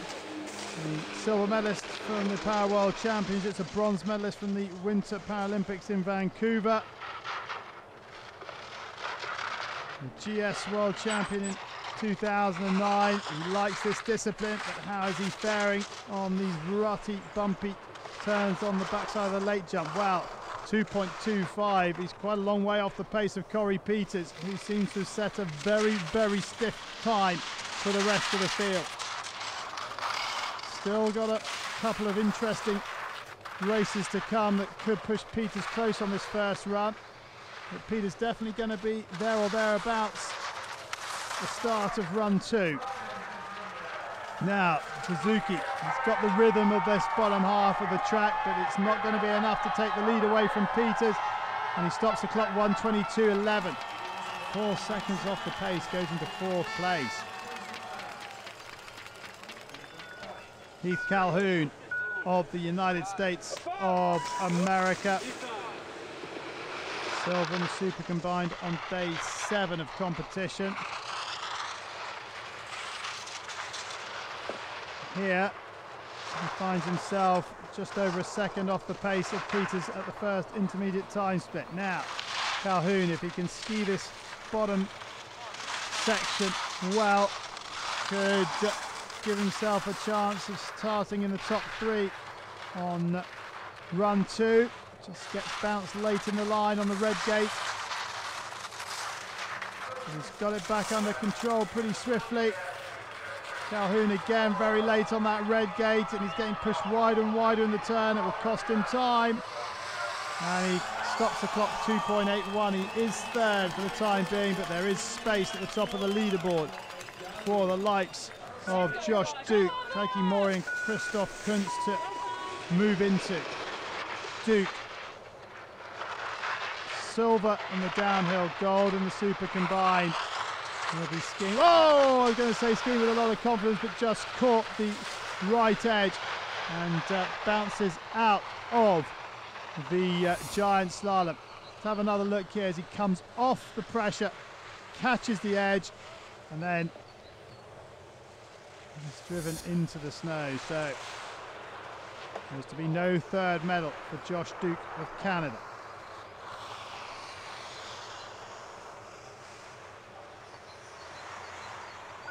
Taiki Mori of Japan in the LW11 class, the reigning para world champion in this discipline.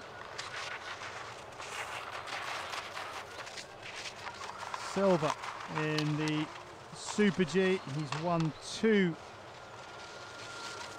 races on the World Cup Tour this year. He only took part in two, won both of them. Both in, well, one in Panorama in Canada, one in Copper Mountain in uh, the United States, both of them in January. And uh, looks like he's just taking his time down this difficult pitch and finds himself over a second off the pace of Peters.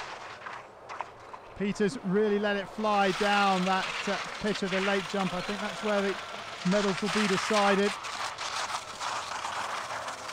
Ski that cleanly and quickly, you've got every chance. Now, Modi in the LW11 class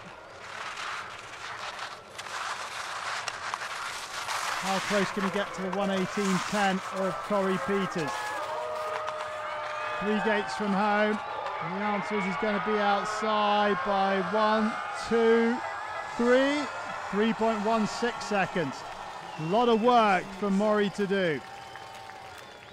Now the World Cup leader in giant slalom. Christoph Kunz of Switzerland, silver medalist in Vancouver, bronze medalist at the Para World Championships in La Molina last year. He too picking his way down the lake jump. He's going to be very close. He's inside. The Swiss skier inside the time of Corey Peters at the first time check. Kunz really the last skier that is likely to challenge Corey Peters' time. How close will it be at the bottom? Kunz, can he stay high in the line here to keep the speed and keep the line? Kunz does well inside of the finish, 118.10. Oh, Kunz living on the edge as he comes to the line. I think he's going to be outside. He is by half a second. Corey Peters will lead the way at the start of the second run, I'm pretty sure. Christoph Kunz, a chance to give Switzerland the medal. They've had a desperately poor time of it at these Winter Paralympics in the Alpine. Is there to be redemption on day eight? Now this is Kees-Jan van der Klooster of the Netherlands. He's the sole Dutch athlete in Vancouver. This time he's got uh, six more friends. More than competing in Alpine. 17th in GS in uh, 2010. And uh, how is uh, he doing here?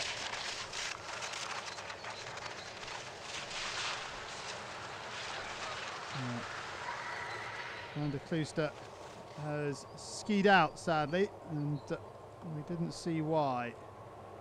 But by looks of things, he skied out on the backside of the lake jump, which is that very difficult technical section. Oh, here we go. He makes the. Oh no, he must have missed a gate prior to that.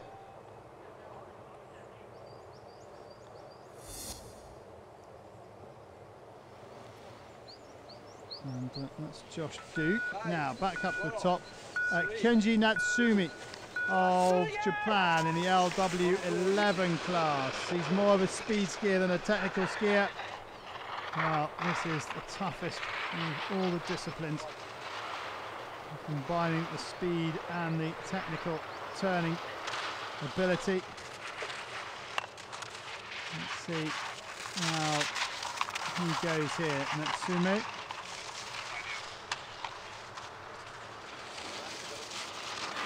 Second on, uh, Super G. Didn't finish the downhill. He's getting a little sideways on this steep pitch of the lakeside jump.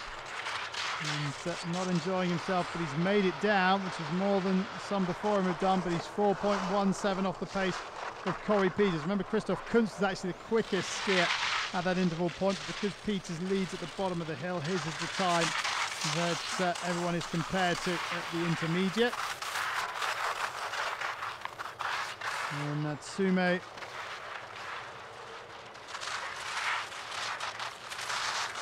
sight of the finish. Japan well, struggling a little bit in this final discipline for the men. First place Mori at fifth, and Natsume will go into ninth.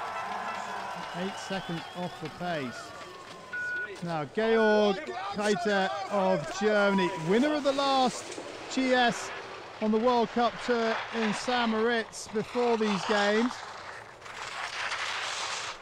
Can he find the time, the pace to get in front of Corey Peters? And the answer is yes, he can. He is nearly four tenths inside the time of New Zealand's Corey Peters coming into the final pitch. Kreiter using his technical abilities to the best and Peters' time of 118.10 could be under threat here from Georg Kreiter or has Peters done enough on the bottom part of this course to still be in the lead? It's going to be very, very close. Peters did do enough and Kreiter Well, he's over a second off the pace. He celebrated his finish, but I think when he looks at his split times, he'll wonder where he lost all that time.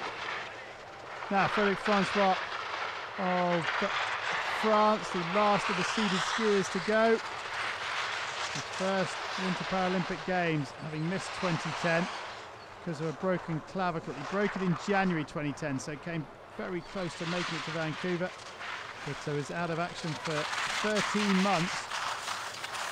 Came fourth in uh, GS at the World Championships in La Molina. Uh, he was fourth in slalom, giant slalom, and super G in La Molina. So uh, on three occasions he just missed out on the podium. What can he do here, Francois? 118.10 won't be beaten, but he gets himself into fifth place, two seconds off the pace. Johan Taberlet of France, the next to ski. He's uh, third Winter Paralympics. He's never picked up a medal at the Paralympics, but he has got World Championship medals. And, uh, well, hasn't skied on the World Cup Tour this year, so we didn't have much form guide to go on, but he's done well on the top part of the track, half a second inside the time of Corey Peters. But Peters has seen off two skiers that have been quicker than him in the mid part of the race on the bottom half of the course and will he see off Taberlet as well Taberlet's very late in the line and he has done Peters obviously skis the bottom half brilliantly well Taberlet fifth and possibly another skier that might just look at the racing line on the bottom half of the course French coming thick and fast now there's four of them in a row the third of whom is Jean-Yves Lemeur just racing the technical disciplines. And slalom probably his best one. Sadly for him, skied out of the slalom. So what can he do here on uh, the GS? Two seconds off the pace.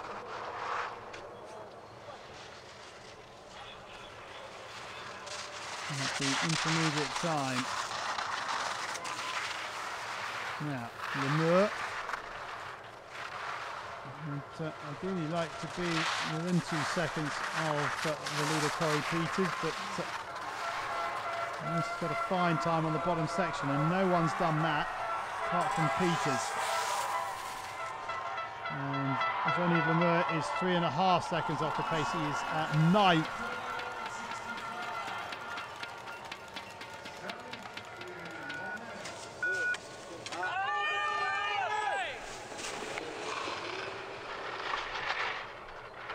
The of the four French skiers in a row, Cyril More.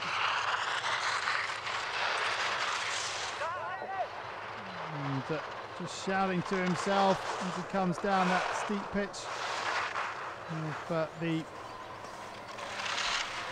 lake jump.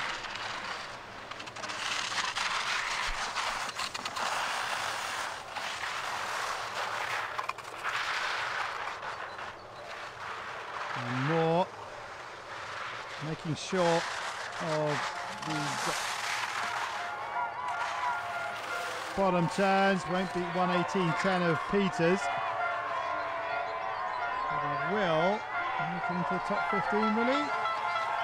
13th, 5.28 off the pace. So, France uh, all skiers down the hill. And now we have Arly Velasquez of uh, Mexico on piste. Velasquez, 25 years of age. Wants to try and get a top 15 finish from these games if he can. And he's got 11th in Super G, and we make it a brace of them.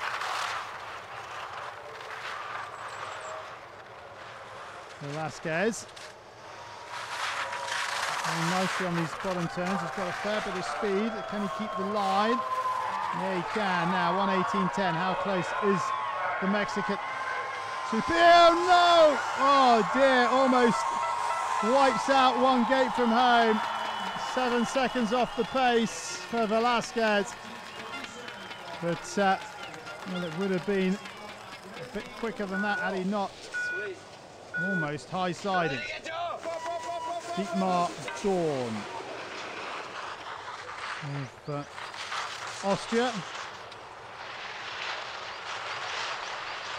He's at 4.38 off the pace. Didn't finish the giant slalom in Vancouver. Oh, the giant slalom took the Para World Championships. So here in uh, Sochi, he's at 4.38 off the pace. Of Corey Peters at the first time check.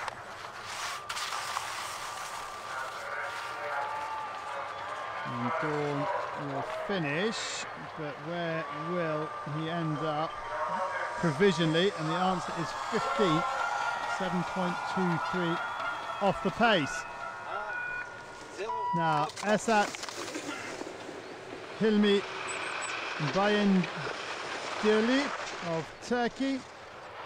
He actually represented the United States of America at the 2006 Winter Paralympics, where he was 33rd in GS.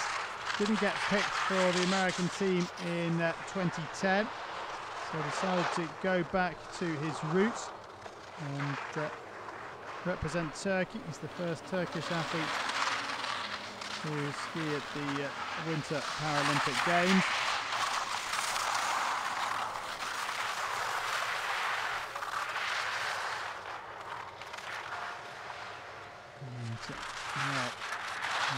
set. 8.4 seconds off the pace at the first time check.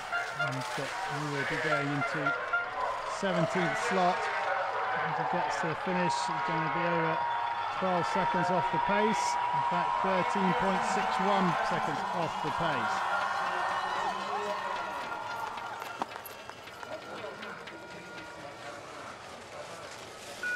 Now, Jasmin Bambur of the USA, another athlete that uh, has changed flag. He represented Serbia in Vancouver, where he was the first Serb athlete to compete at the Para Winter Games. Now a uh, US citizen, he was 24 at the Para World Championships in 2011 in Sestriere in giant slalom. And he's late in the line on these final turns, and that means he has to make the corrections as he comes onto the flat, so he'll carry very little speed over the line. But goes into 17th place, 8.32 off the pace. Maurizio Niccoli of Switzerland in his first uh, Winter Paralympic Games, 37 years of age. His teammate Christoph Kunz sits in second position half a second off the leading time of Corey Peters of New Zealand. Now Niccoli 6.66 off the pace of Peters at the split time, but it's all about trying to get in the top 15 now for these uh, skiers because the fastest 15 go in reverse order. And if uh, they can get a higher bib draw number, then that would make conditions a little bit easier because they will be softer in the second run, which happens later on day eight.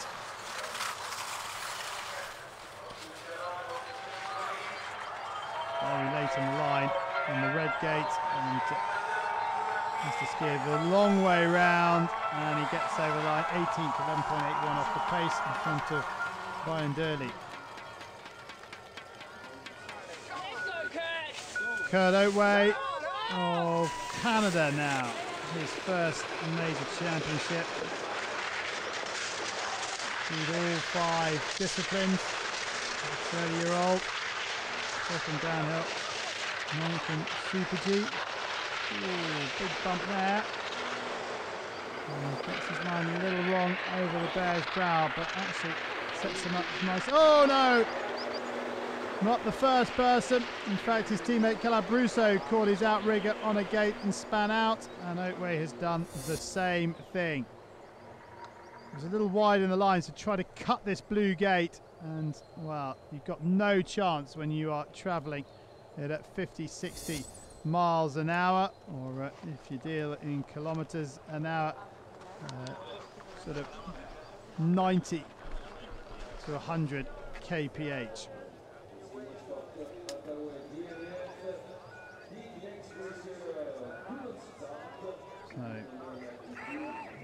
There's, uh, Christian van der Klooster the bottom of the run. But uh, Oatway is out of the giant slalom and uh, now we have uh, Akira Taniguchi of Japan in the start hut. So that means uh, in my reckoning we have a non-starter Franz Hanfstingl of Germany so Taniguchi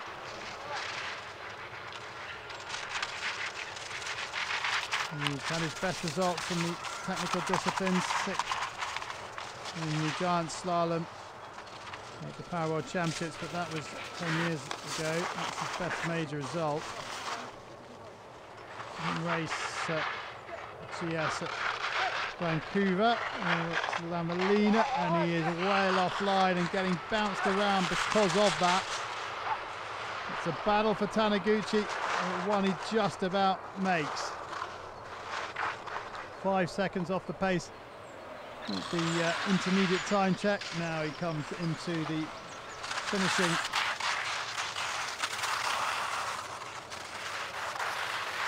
pitch and uh, will try and get himself inside the uh, top 15 if he can, which is Dietmar Dorn 125.33.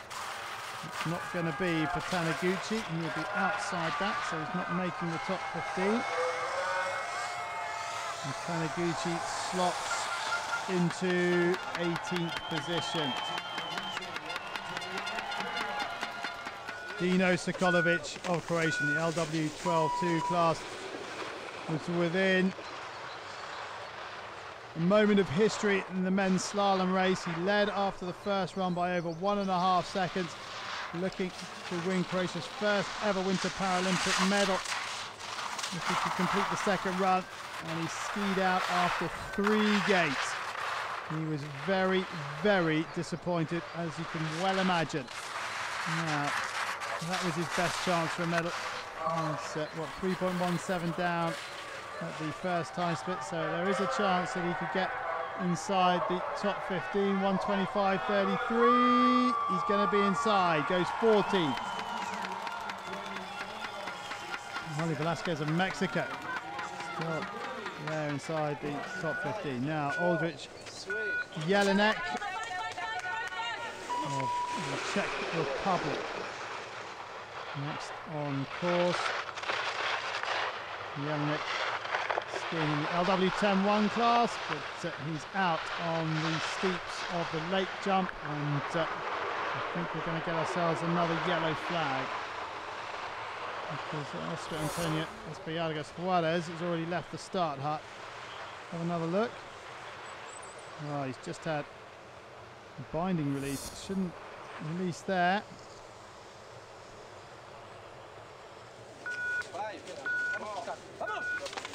Oscar Antonio Espallargas Suarez is out of the start hut, but I think the yellow flag is going to be appearing shortly. There it is. And uh, he will have to go back up for a rerun. Now, if you're wondering why that is, it's because the athletes aren't sent off when the other one gets to the bottom. There's two on course at any one time, so if uh, the first one falls, or has an accident such as the case here, then uh, the second athlete gets the yellow flag. Uh, they're taken back up the top. They do get a rerun. But, uh, it's, uh, it's uh, Oscar Antonio Espallargas Suarez who uh, has to go back to the top and start psyching up all over again.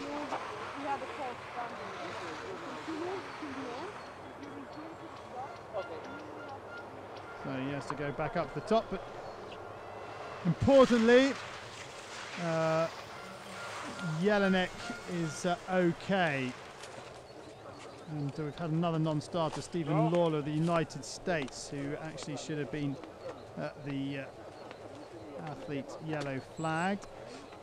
That's two non-starters in this uh, 60 category.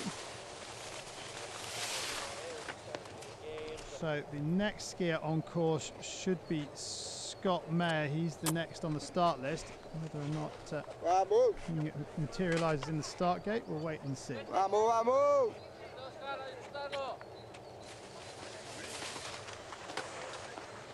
But uh, while all this is being sorted out, we just have a little pause in the proceedings. It's uh, Johan Tor of Iceland. Hi, Olivia. Hi, Sarah. Say hi, Mom. Chocolate cake. Hi. Smile pretty, baby. So the American contingent get their flags waving. Scott Mayer in his first Winter Paralympic Games should be in the start hut ready to go once they've got the course clear. And there he is.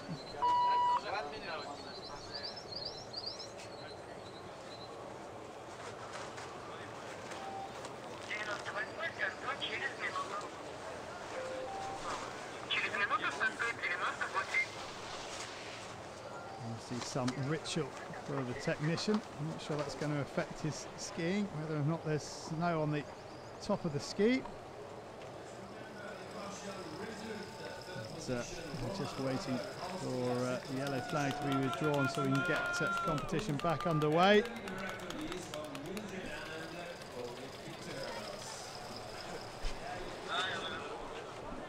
Scott Mayer, number 98, gets ready to lead the start gate in this men's giant slalom sitting category. The 40 year old can leave the gate any time between five seconds before zero and five seconds after. And off and going now. Let's have a look at this course. This is that big pan, wide area, fairly flattish. We're talking comparatively, of course. And the setup for the Bears Brow jump from the downhill. Very technical, rhythmical course, and Mayer very late in the line. And he's lost all his speed. He's had to get hard on that left edge to make the red gate as the Bears Brow jump flattens out, and as a result, he uh, loses speed. Corey Peters of New Zealand leads the way from Christoph Kunz of Switzerland and Roman Rabl of Austria. That's the top three. That won't change between now and the end. And Mayer gets uh, flipped up onto the nose of the ski and uh, goes to ground. And uh, he is a DNF. Got bounced on the blue gate and then just here hits a rut. That's the problem. If you get late in the line and you're a high starter, you can get pushed up and over the uh, ruts that have formed in the skiers before. Now, Igor Sikorski of Poland, 23 years of age. Sikorski skiing in the LW11 class, skiers that have good abilities in their upper trunks, uh, but uh, very limited control in their lower trunk and hips, as it would be the case skiers with lower spinal cord injuries.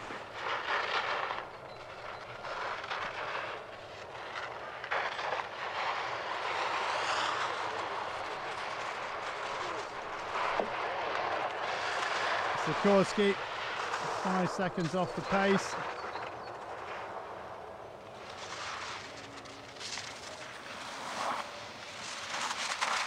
Going nicely on these uh, bottom turns. Flatters into that gate and well, we've seen a number of skiers come to grief when they get too close to the gates as the riggers get caught. Oh no! Just gets the edge all wrong. Sikorski's down. Uh, gets himself back up fairly quickly. And uh, oh, just got high-sided and then got caught back on the left edge again. Couldn't make the turn for the blue gate, but uh, Sikorski will finish. He'll get a time because he didn't miss a gate. And the time is 139.26, 21 seconds off the pace.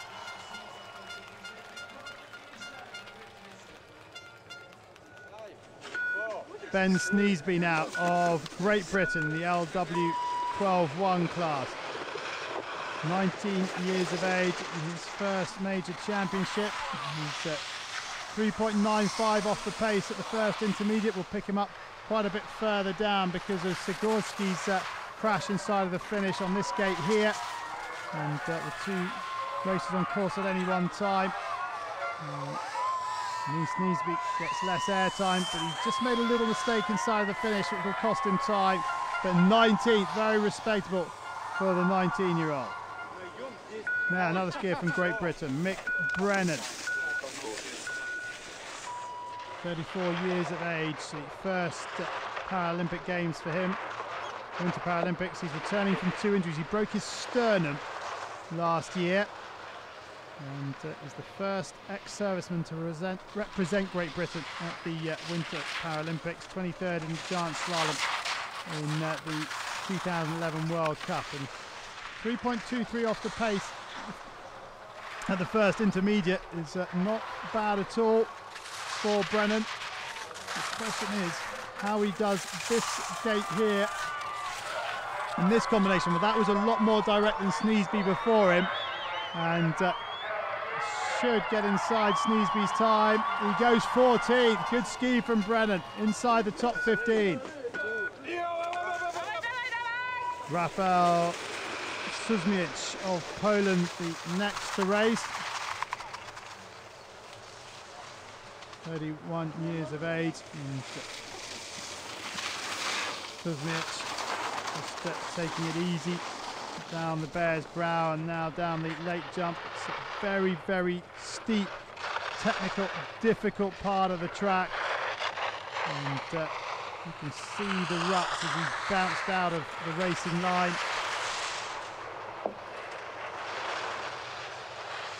And Szumiec, 13 seconds off the pace at the first intermediate time check.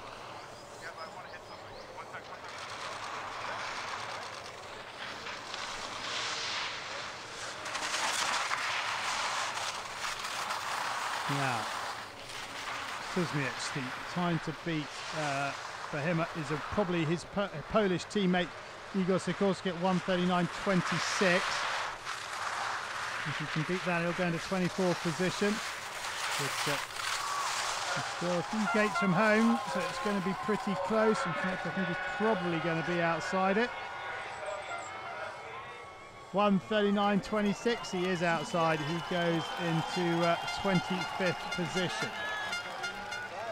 Park Jong Seok of Korea, 47 years of age, and uh, he is skiing in the LW11 class. He's 13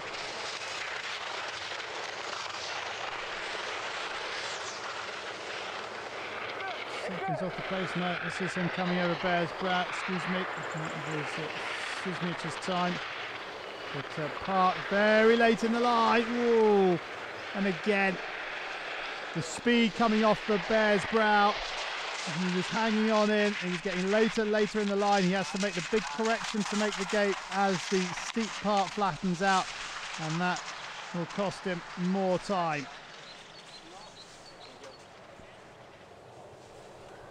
Well, Park has uh, come to grief on the pitch of the lake jump. Yeah, just loses the edge control and uh, moves down into the netting, but he's okay.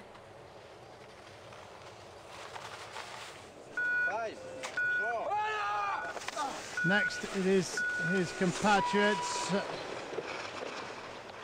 Lee Chi Won because we have a non-starter in Thomas Jakobsen of Norway. And where has Lee gone to? He too has come to grief, has he? You can't see him. Oh no, here he is. Well, no, he's down again. And uh, think that is the end of that one for Lee. Obviously, he had a mistake earlier on and uh, bounces out, coming down the bottom of Bear's brow. Lee Chi Won retires. He is a DNF.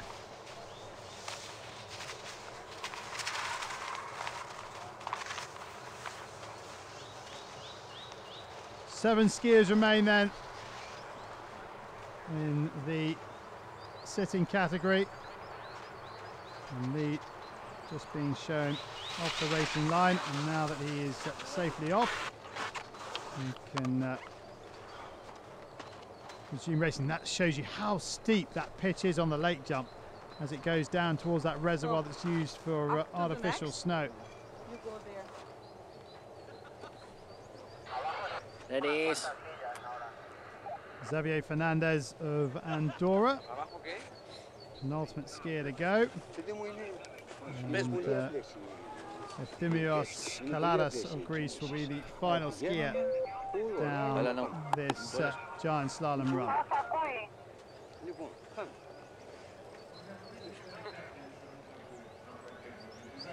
Enrique Plantey of Argentina, the next to go. That's why the Argentinian fans uh, are jumping up and down. They're enjoying themselves. And here he is. His first Winter Paralympics. His only event.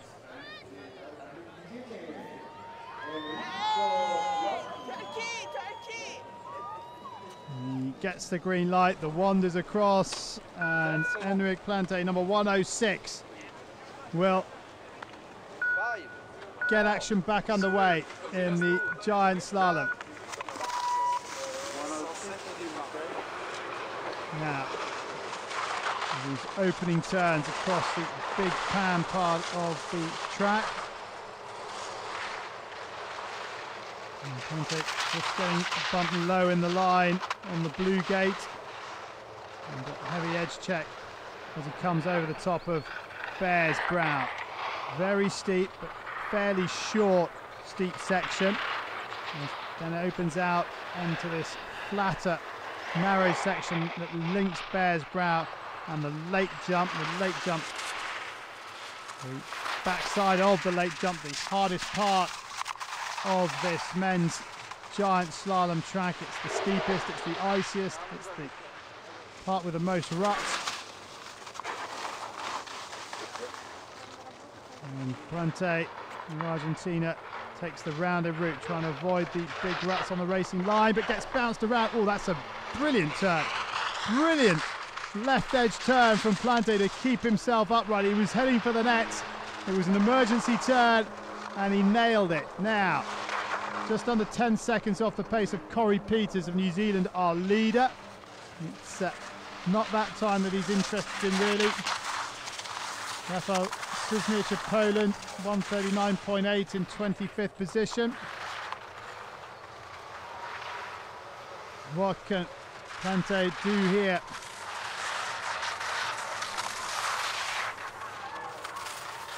Five or six gates from home now. 118.10, that won't be beaten. 139.8 is the 25th time we have. Um, Plantey should be inside it. Oh, yes, he's comfortably inside it. 134.37. Five seconds, five and a half seconds inside the time of Szumiec. He's 24. One, zero, stop. Ulrik Nyvold of Norway, the flag bearer for Norway at the opening ceremony. He's out of the start up. This is his first major competition. 38 years of age.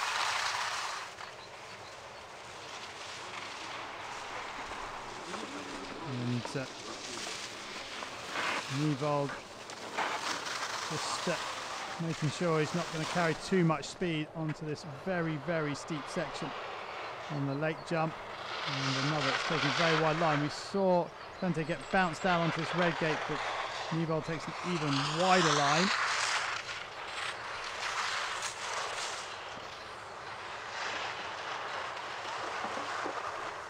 Fifteen seconds o- off the pace, nearly 16 at the first time split. So Szumiec, Poland 26 at the moment, 139.8. Remember the fastest 15 go in reverse order, and then 16 to the end after the quickest skier in the first run.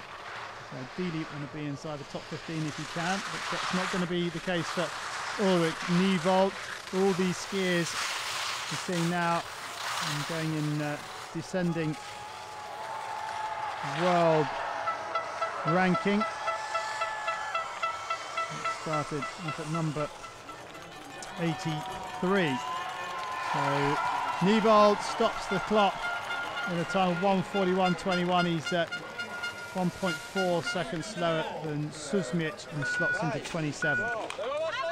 Nikolai Shuvalov of Russia now in the LW10-2 class.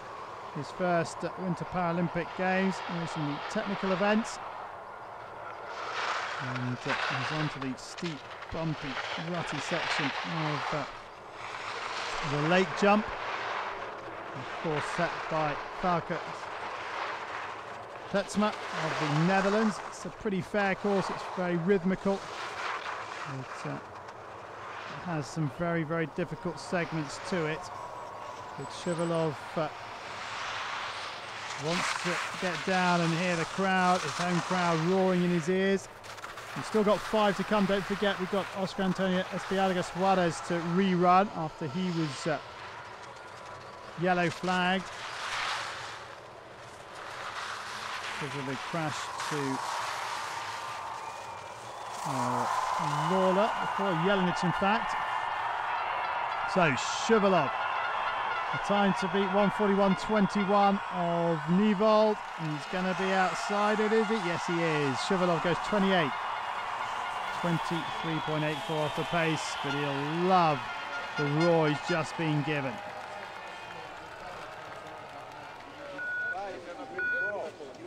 Gal Jakic of Slovenia, the next to go, LW 12-1 class. For skiers with normal or only slightly decreased trunk function and leg impairments. Skiers with leg impairments in sport classes LW 1 to 4, which is in the standing category, often also fit the sport class, so they can choose if they want to ski sitting or standing in the beginning of their careers. Now, Jakic taking on the lake jump and the ruts and bumps on it. He's at 20 seconds off the pace already. Uh, looks unlikely to get in front of Shuvalov at 141.94. Now, will he let it flow a little bit more freely on these lower turns as we come inside the uh, finishing pitch?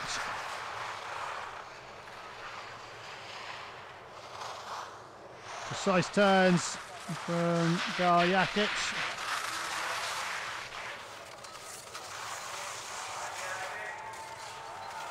And he comes up to the line. 118.10 comes, goes 141.94 has come and gone, so Jakic will go into 29th position. He's uh, nearly seven seconds, eight seconds off the pace of Shuvalov, who is in 28. Johan Tor Holmgrimsson of Iceland, the next to go, the first Icelandic paraskier to compete at the Winter Paralympic Games.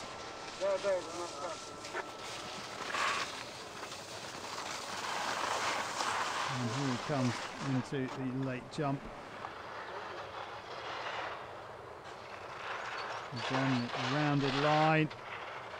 Speed starting to increase, but manages to get the left edge to bite to just hold him up. Now he lets it run, and he will be 23 seconds off the pace of Peters. Jakic, currently sits in 29th, is at 20 seconds off the pace, so Holmgrimsson will slot into 30th position.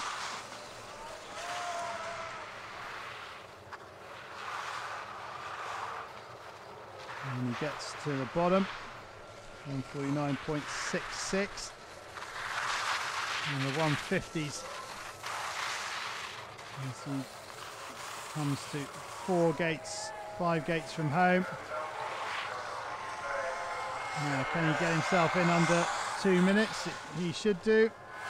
And he'll stop the clock at 156.84, 38.74 off the pace. But for uh, Holmgrimsson of Iceland. Xavier Fernandez now of Andorra, 41 years of age. Another flag bearer at the opening ceremony. 24th in the giant slalom in Vancouver. His best giant slalom finish in a major is 13th at the World Championships and he's down but uh, not out. He's skiing a very, very high line. Now it'll be more onto the racing line. And uh, he survived the lake jump.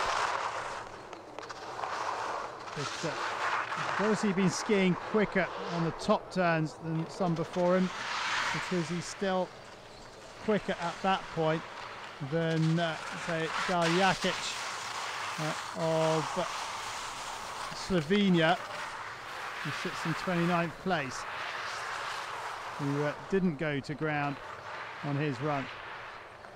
So Fernandez linking some good turns together.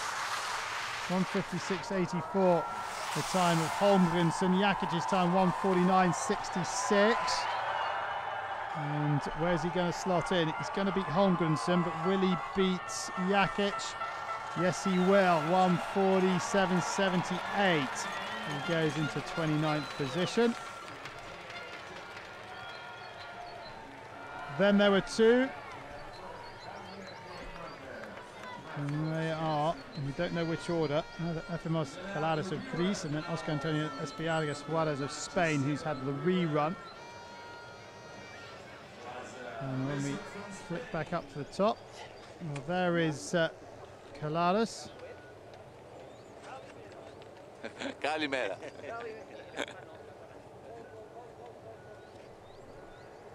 Now, who is going next? Let's go. Two more skiers remain in this giant slalom run. And uh, it's uh, Espallargas Suarez who is the next to go. 10 seconds. The rerun, LW12-1 class. 5, 4, Vamos, vamos. And Espallargas Suarez is off and skiing for a second time in uh, this men's giant slalom sitting category race. The first run of two. And uh, he was going okay in the first run. And was yellow flag. Just about here, a little further on. Now, a 31 year old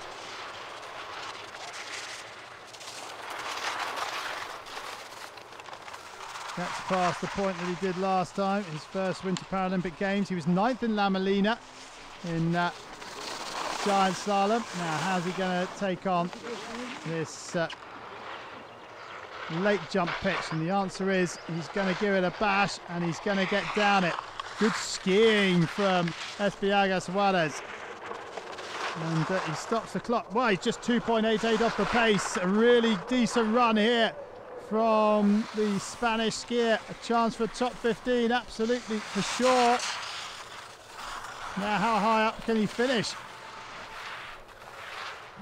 Espallargas Suarez. Uh, on world ranking points, unlikely to be in the top 15, but he looks like he's going to nail this. 118.10, he's not going to be far off it. Where is he going to slot into the finishing order? And the answer is at 124.07.50. He does make the top 15. He knocks Dino Sokolovic into 16th place. And Espallargas Suarez surely be pretty happy with that. A great ski from him. Now, the last skier in this men's giant slalom sitting race is on course. Efthymios Kalaris of Greece, the only Greek athlete here at these Winter Paralympic Games. He actually won a silver in the discus at the Athens Summer Paralympics uh, back in uh, 2004. But uh, first time he's competed on the, the snow. Lowest rank of all the skiers in this race. Can he get inside the time of Johan Thor Holmgrimsson of 156.84? Well, I doubt he would have skied many steeper pitches than the one he is currently on. And uh, with the snow warming up all the time, it will uh, start to rut. And there is a big, big hole there that's just bumped him out. And there's going to be another one in a minute. Well, he's missed it, and he's through the toughest part of the course. And at the time check, he is 22 seconds off the pace. Well, he's inside the time of Holmgrimsson at this point.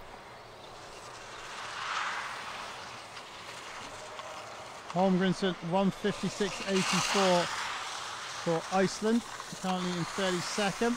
And uh, it looks as if we're going to have 33 finishes from the 45 that started. And uh, Kalaris of Greece now comes to within six gates from home. The crowd start to warm up and Kalaris will finish. Good run from the sole Greek athlete here these games and he stops the clock at 152.77. He goes above Holmgrimsson by uh, 4.07 seconds. And they enjoyed that in the finish area.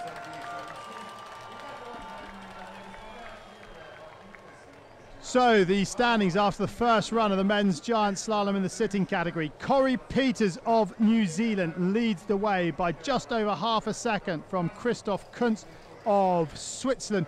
Roman Rabl, who has two bronze medals to his name already, is in third. Those three separated by just over uh, three quarters of a second. Georg Kreiter of Germany is in fourth, and he is just over a second off our leader, Corey Peters.